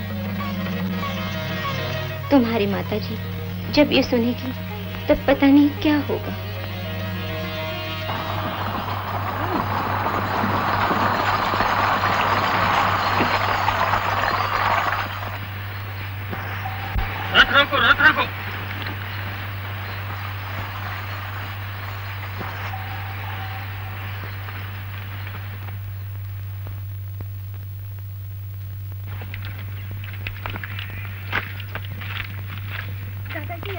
कैसी हो बेटी। रास्ते में डर था इसलिए आदमी लेकर चला आया। तुम तो अच्छी हो ना? घर में माँ पिताजी कुसुम सब कैसे हैं? वो तो सब तेरे घर के हाल पूछने के लिए तड़प रहे हैं। आओ यही कुछ आराम करें।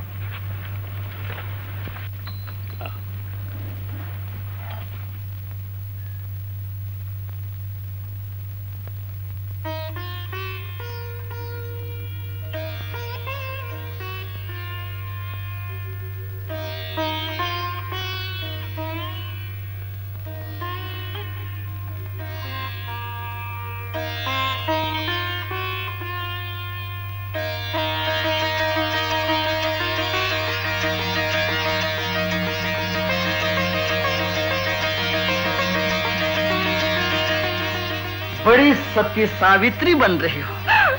तुम इस लायक नहीं, मेरे माता पिता की बहू बने। तू तो पद्मा से भी गिरी हुई है। जा यहाँ से चली जा इसे में तेरी और तेरे घर वालों की इज़्ज़त है।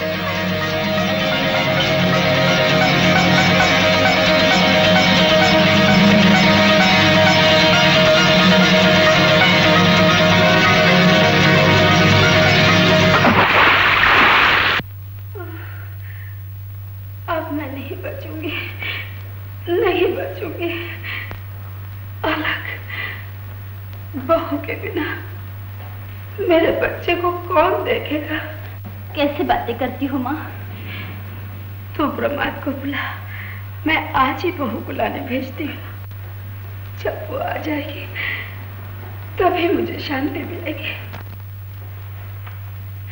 पचास रुपए कुमुद को। दस रुपए की इतर वगैरह बाकी तो पैसे खर्च हो ही जाता है। पच्चीस रुपए बचते हैं। उसमें तुझे दे देता हूँ। तो चुड़े तेरी ये मज़ा? कि तू मेरे भाभी के पलंग पर बैठे। इसमें मेरा क्या कसूर? क्यों भाई को समझा की औरत तेरी ये हिम्मत? क्या कर रही है? अलग। ये क्या कर रही हो? इसका कोई दोष नहीं। कोई दोष नहीं। दोष मुझसे पूछो। अलका बहन तुम नहीं जानती। इस चुड़ैल ने ही तुम्हारे भाई को फंसाकर कुमुद को घर से निकाल दिया है। अब इन दोनों की वजह से ही शायद कुमुद फिर कभी आवा तुम चुप रहो।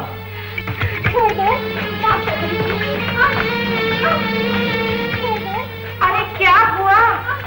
कैसा शोर है ये? मैं कभी गलती नहीं करूँगी। मुझे माफ़ कर दो। अलग माँ ये दो टके की औरत इसने और भाई ने मिलकर ही भाभी को घर से निकाला है। ये तुम्हारी बहू बनकर भाई के पलंग पर लेटी थी। तेरी जान ले लूँगी चूड़े। बता क्या जादू चलाया मेरी भाभी को घर से निकालने का? बोलती क्यों नहीं?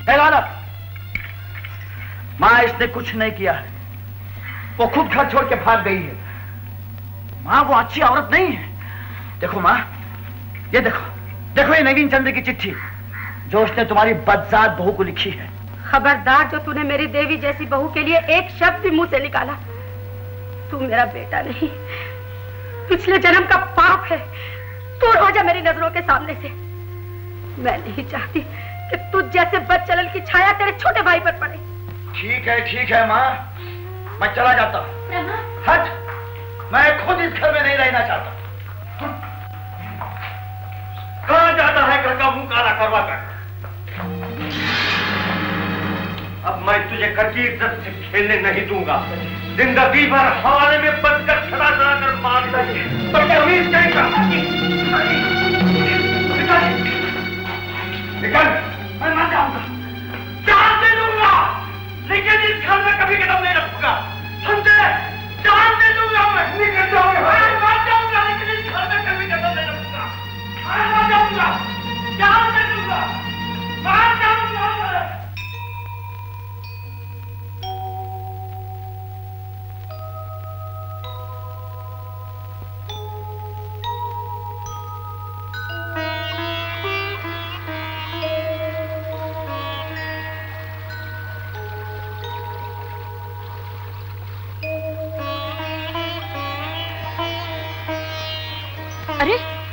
देखो तो कोई बह रहा है।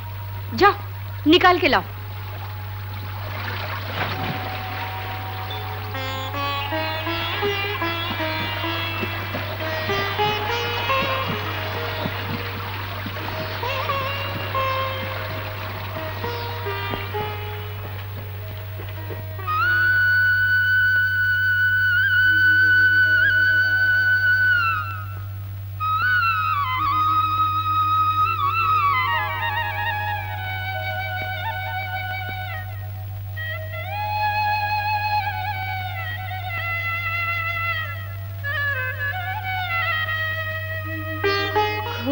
अंधकार है मेरा जीवन, जो बोझ बनकर मेरी आत्मा को कुचलता है।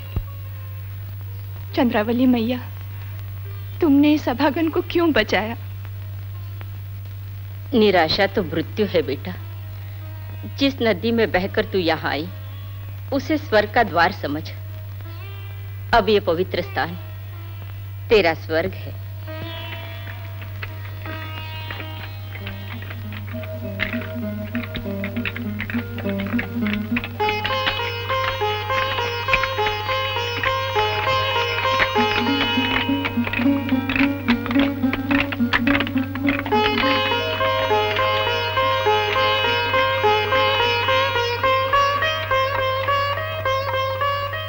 ये वही महापुरुष है, जिसने तेरे प्रेम के लिए संसार का त्याग किया। भगवान की शायद यही इच्छा है। तुम दोनों का मिलाप हो, कुमुद। सरस्वती ने तेरे लिए संसार का त्याग किया। अब वो तेरे लिए ही संसार को अपना सकता है। इसलिए तेरा कर्तव्य है। तू उसे संसार में वापस ले आ। ये क्या कह रही हो मैया? तुम्हें मालूम है मेरे पैरों में शादी की बेड़ी पड़ी है। संसार का रास्ता उन्हें दिखाना सोच भी कैसे सकती हूँ?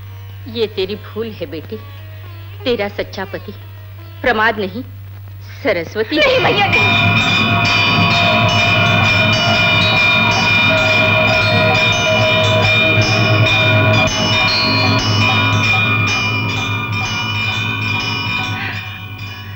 पाप है अपराध है अधर्म है माँ। मैंने सरस्वती से अपने घर से जाने को कहा था। सन्यास लेकर संसार छोड़ने को नहीं। उन्हें यहाँ से लौट जाने की बुद्धि दो माँ। उन्हें सुखी रखो। बदले में भले ही मेरे प्राण ले लो लेकिन उन्हें बचा लो माँ। बेटी? मैया। मन को शांत करो बेटी। मन की शांति तो सरस्वती के दुख में डूब चुकी है मैया। अब तो मैं न जी पाती हूँ न मर पाती हूँ। जीवन जीने के लिए है बेटी और तुम पर तो एक ऐसे व्यक्ति का भार है जिसे हज़ारों लाखों लोगों की भलाई करनी है। मैं क्या कर सकती हूँ मैया? वो सन्यासी बने जा रहे हैं। मैं उन्हें कैसे बचा सकती हूँ बोलो? मैं क्या करूँ? विरह की आग में जलते हुए पुरुष के हृदय की ज्वाला।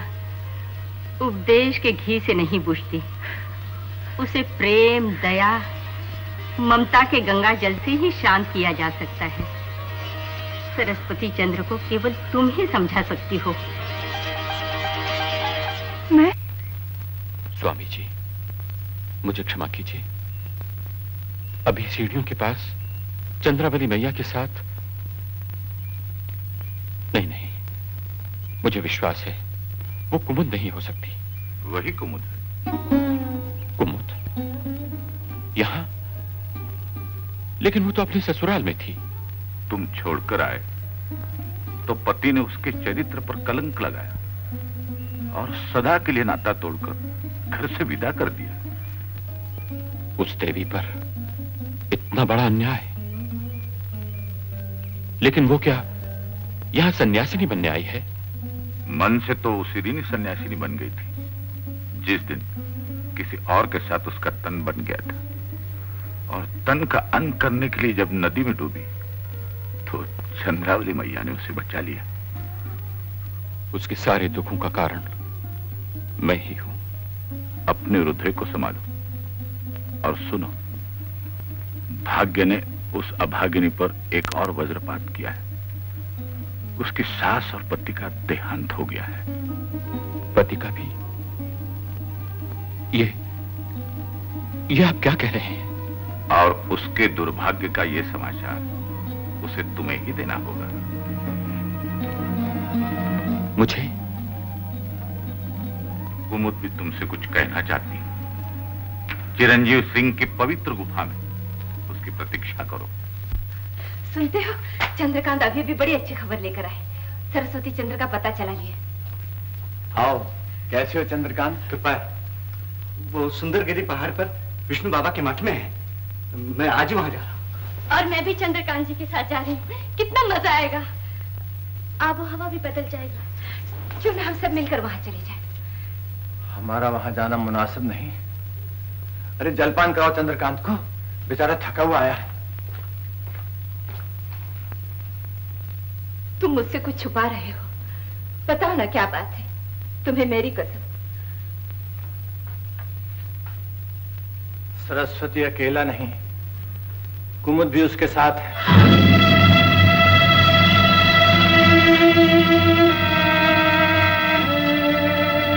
कुमुद सरस्वती के साथ?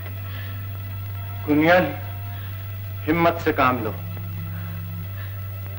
तुम्हारी जैसी हिम्मत में कहाँ से लाऊं? बेटी पराए मर्द के साथ। और तुम सब्र किए बैठे हो। गुनियन इस लड़की ने हमारी बिरादरी में नाक नीची कर दी। बिजली क्यों ना टूट पड़ी उस पर? जब मेरी कोख में थी। गुनिया हम लोग दुनिया को क्या मुँह दिखाएँगे? हाय हाय अब इसका क्या उपाय है? इसका सिर्फ़ एक ही उपाय है और वो ये कि तुम अपनी ज़ुबान बंद रखो। दुनिया में ढिंडोरा पीटने की ज़रूरत क्या है? मैं कोई ढंडोरा थोड़ी पीट रही हूँ।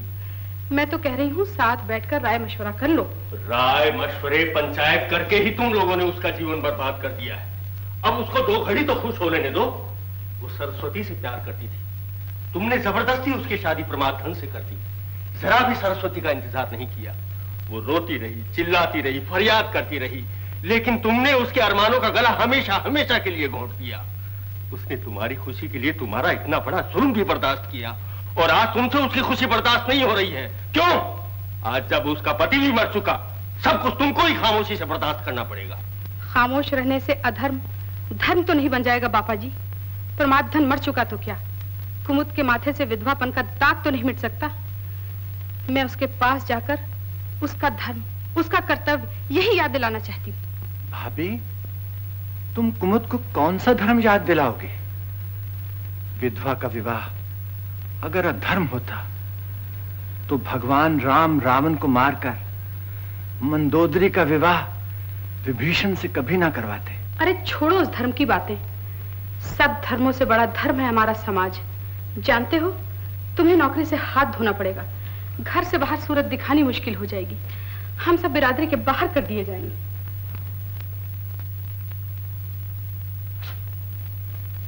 अगर मेरा धन दौलत इज़्ज़त सब कुछ मिटकर भी मेरी बेटी को सुख मिल सकता है। तो मैं उसके लिए खुशी से तैयार हूँ।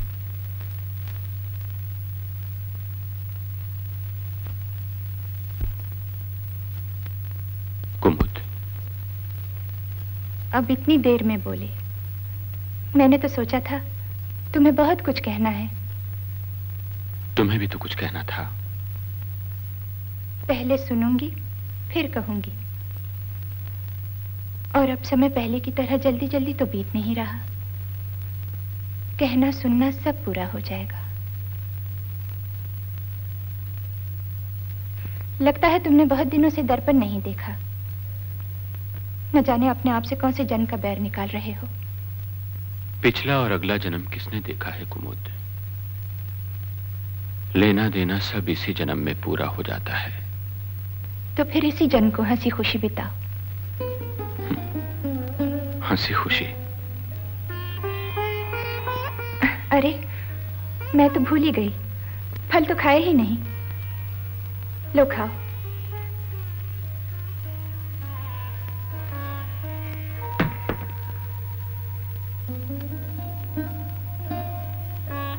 क्या हुआ? अब और क्या होना बाकी है?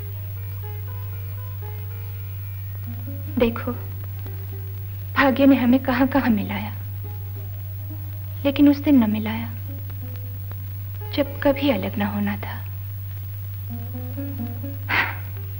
जाने अनजाने कौन सा अपराध हुआ था मुझे भागिन से? क्या एक बार झूठ मुठ को भी नहीं बताओगे?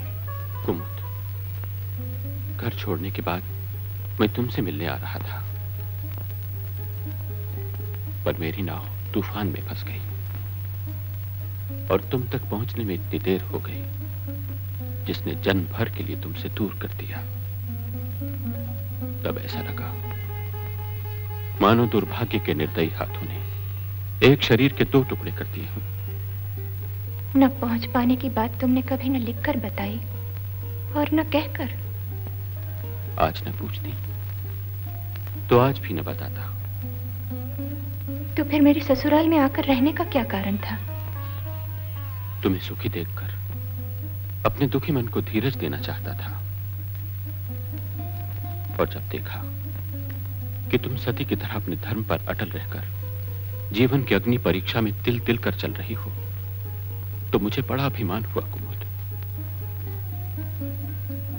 लेकिन मैं इतना भाग्यवान नहीं था कि उस ज्वाला में भस्म होकर इस जीवन को समाप्त कर पाता। छी कैसी बुरी बात मुँह से निकालते हो?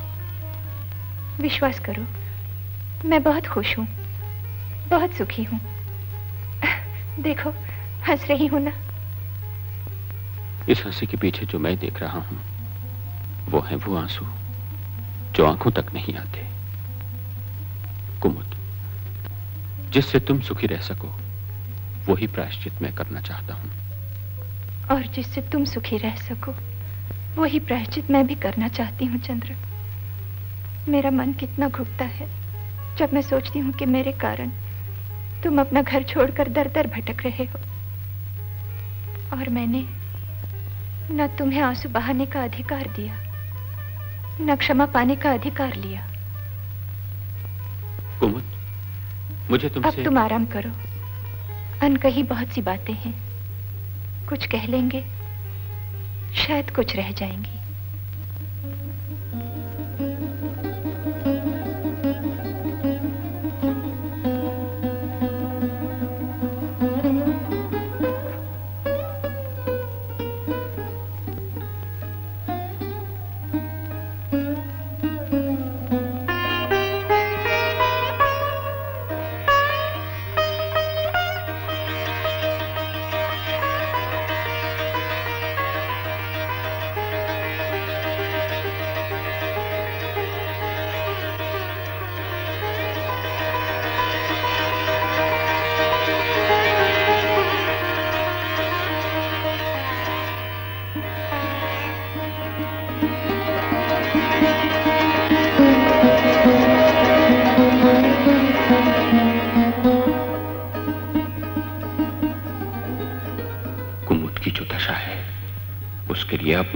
दोष दूँ या भाग्य को, जिसने अपराध करवाया मुझसे और दंड दिया उसे। भूल हुई मेरी और यातना के अंगारों पर तड़पना पड़ा उसे। अपने अधिकार को पाकर भी छोड़ दिया मैंने और आंसुओं के भंवर में डूबना पड़ा उसे। आज उसी कुमुद से मैं कैसे कहूँ कि तुम विधवा हो गई हो? तुम्हारा सुहाग लुट चुका है। मैं कैसे कहूँ? कैसे कहूँ?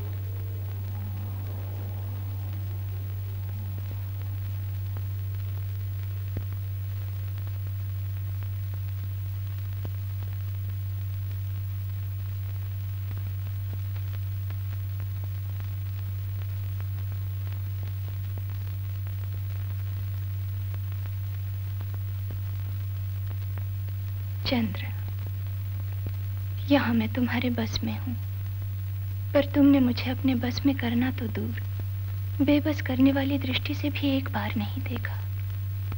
तुम देवता हो, और मैं, मुझे तो तुम्हारे चरण छूने का भी अधिकार नहीं है।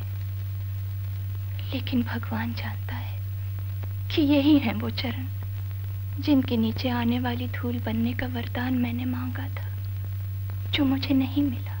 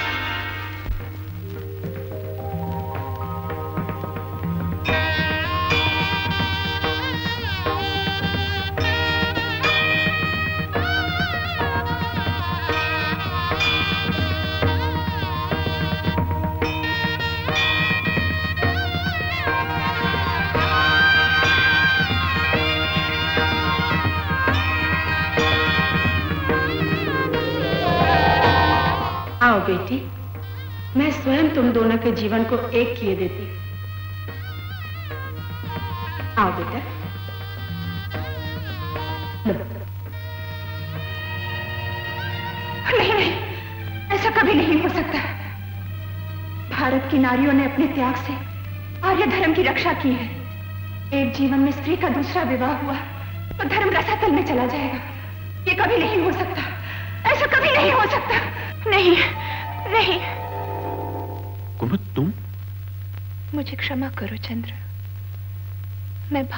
खो गई थी।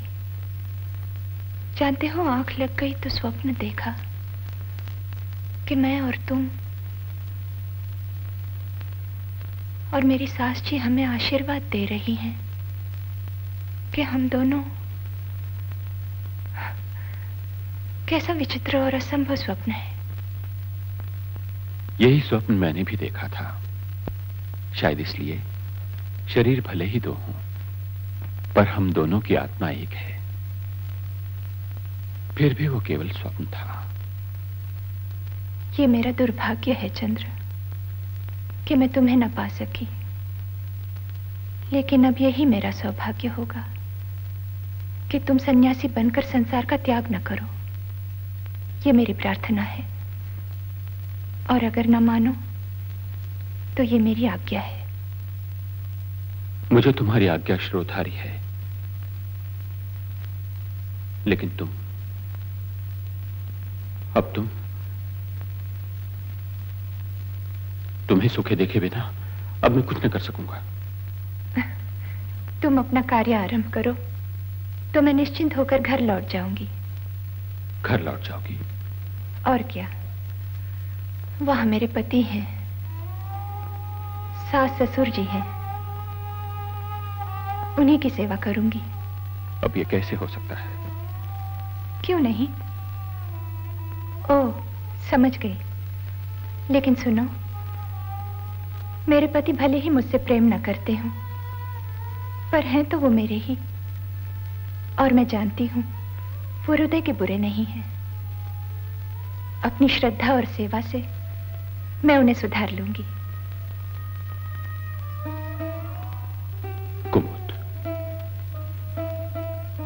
अब तुम्हारी इस पवित्र भावना और महान आदर्श पर वज्रपात हो चुका है। क्या मतलब? मैंने बार बार कहने का प्रयत्न किया लेकिन बार बार साहस ने मेरा साथ छोड़ दिया। तुम्हारी सास और पति का देहांत हो गया है।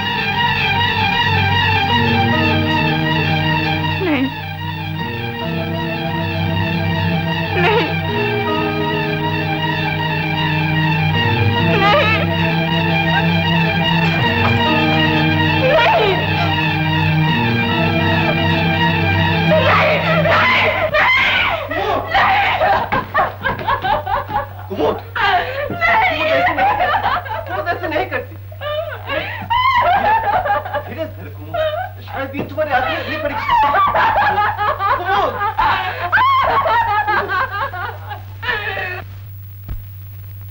आत्मा और परमात्मा तपस्या और वरदान धर्म और सत्य के बीच बहुत कम अंतर है कुमुद। हाँ। फिर भी उसे पार करने का मार्ग बहुत लंबा है। इसी तरह तुम और मैं एक दूसरे के हृदय में रहकर भी एक दूसरे से बहुत दूर हैं।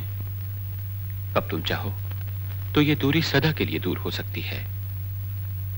सपने में तुम्हारी सास जी का दिया हुआ आशीर्वाद। चंद्र, तुम तो इतने विद्वान हो, ज्ञानी हो। क्या तुम नहीं जानते कि वैधव्यों में कितनी पवित्रता होती है? और फिर यह भी तो सोचो कि तुम्हारे लोक कल्याण के कार्य में एक विधवा का साथ बाधा बनेगा। मत भूलो कुमुद। कि आज के समाज में पत्नी के बिना कोई पुरुष अकेले लोक सेवा नहीं कर सकता? तो फिर जैसे धर्म के माता पिता और भाई बहन हो सकते हैं वैसे ही मैं तुम्हारी धर्म की पत्नी तो नहीं पर सहधर्मचारिणी हो सकती हूँ। उस रूप में मैं तुम्हारा साथ देने के लिए सदा तैयार हूँ चंद्र। कुमुद पहले मैं अपनी एक छोटी सी भूल से तुम्हें ना पा सका। और अब तुम जानबूझकर वही भूल करना चाहती हो जो मैंने की थी। मैं पूछता हूँ, तुम्हें मुझसे विवाह करने में आपत्ति क्या है? जब आपत्ति नहीं थी, वो समय बहुत पीछे रह गया। अब तो यही समझो कि मेरे मन से संसार का डर और स्त्री की लज्जा नहीं जाती।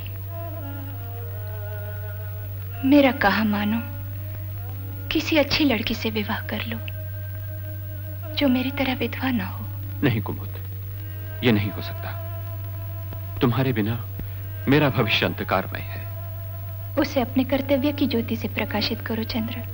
मेरे जीवन की ज्योति तुम ही हो कुमुद। शरीर से नहीं हृदय से जो मैं तुम्हें दे चुकी हूँ। जिस संयम और मनोबल से तुमने मेरे स्त्री धर्म की रक्षा की है, विवाह से पहले मेरे घर में, विवाह के बाद मेरी ससुराल में, और अब यहाँ के एकांत में, उसके लिए मैं तुम्हारे सामने सदा नतमस्तक हूँ।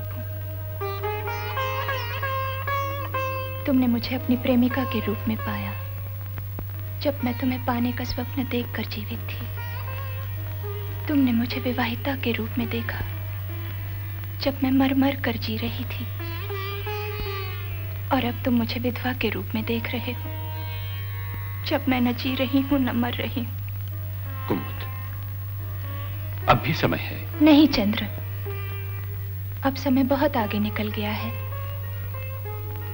पहले मुझ पर तुम्हारा अधिकार था। फिर मुझ पर मेरे पति का अधिकार हुआ। और अब अब मुझ पर केवल मेरा अधिकार है।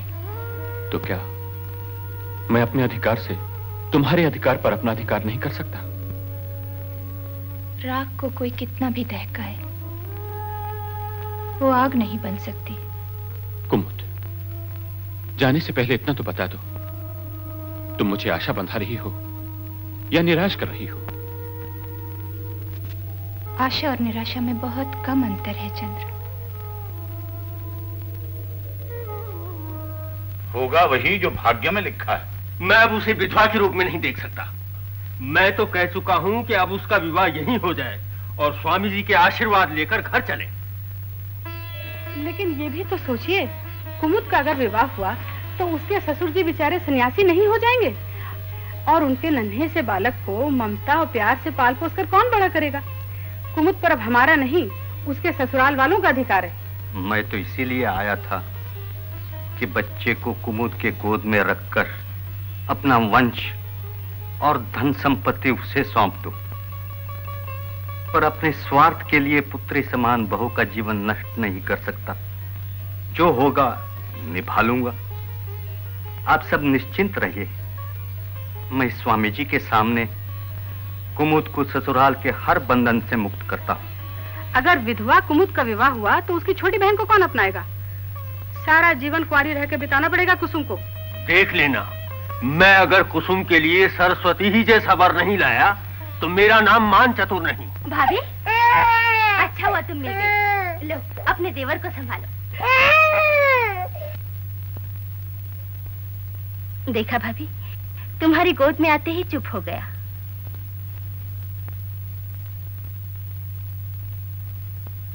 कुसुम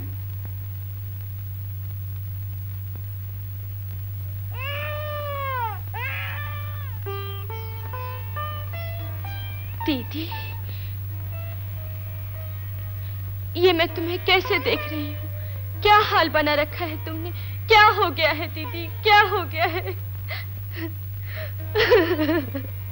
दीदी। रो मत कुसुम रो मत। कुमुद तेरे और सरस्वती के कल्याण की यही राह है। अम्बा माँ ने तेरी सहायता कर दी। कुसुम तुम्हें अपनी दीदी पर एक उपकार करना होगा। कैसी बातें कर रही हो दीदी? तुम्हारे सुख तुम्हारे जीवन के लिए मैं हँसते हँसते जान भी दे दूँगी। वचन से पीछे तो नहीं हटोगी। मांग कर देखो। मेरी पगली कुसुम मेरी बहन।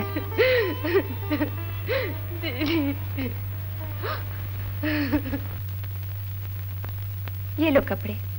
इन्हें पहनकर जल्दी से तैयार हो जाओ। ये कपड़े क्यों? आज तुम्हारा विवाह है। आज अचानक? लेकिन मेरा विवाह क्यों? हमारा कहो। तुम्हें भी तो तैयार होना चाहिए। मैं तैयार हूँ।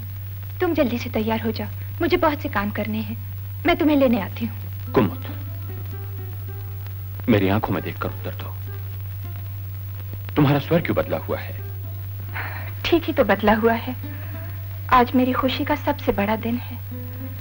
तुम्हारे शुभ विवाह का दिन। कुमुद जितना मैं तुम्हें जानता हूँ समझता हूँ संसार में उतना और कोई नहीं।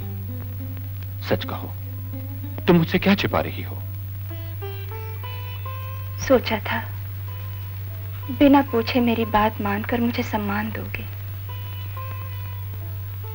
मैंने जो निर्णय किया है वो तुम्हारी और मेरी भलाई के लिए है। मैं तुम्हारा विवाह कुसुम के साथ करा रही हूँ। नहीं नहीं। यह कभी नहीं हो सकता।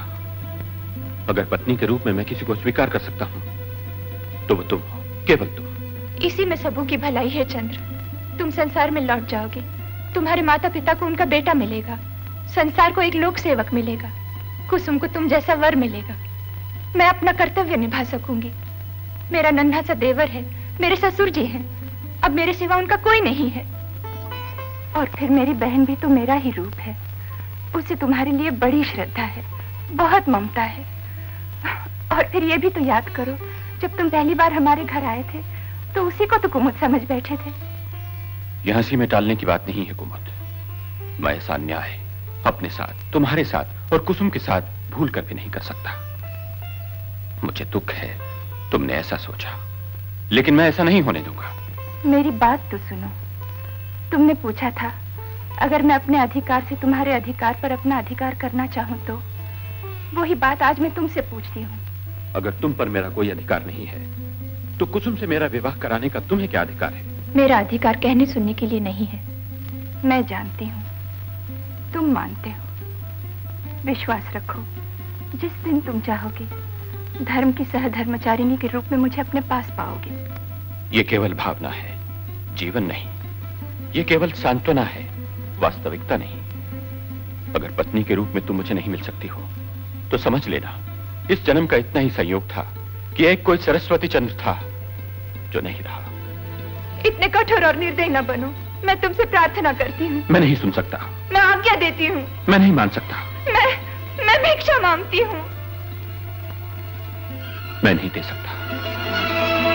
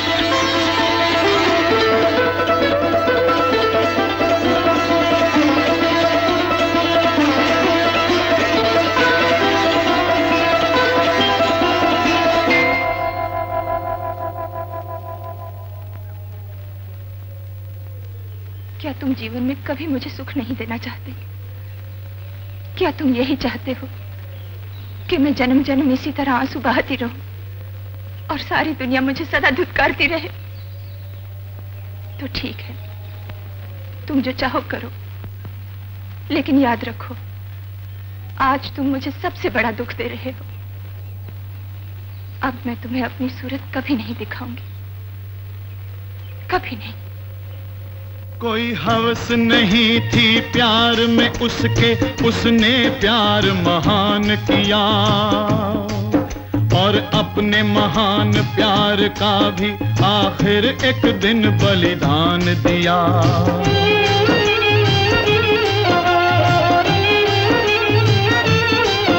यूँ सती कुमुद को सुख पहुँचाने, कुसुम को अंगीकार किया।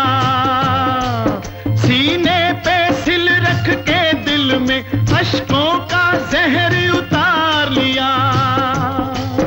भारत की नारी होती है, जग में आदर्श बहुरानी।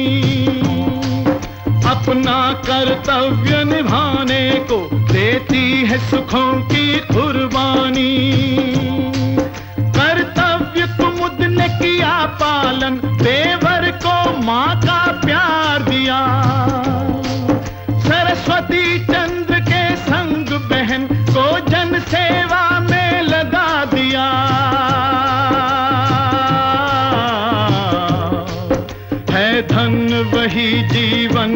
लोगों जो बीते पर उपकार में। एक त्याग मूर्ति बालक का अवतार हुआ संसार में। सौ साल पहले की बात है।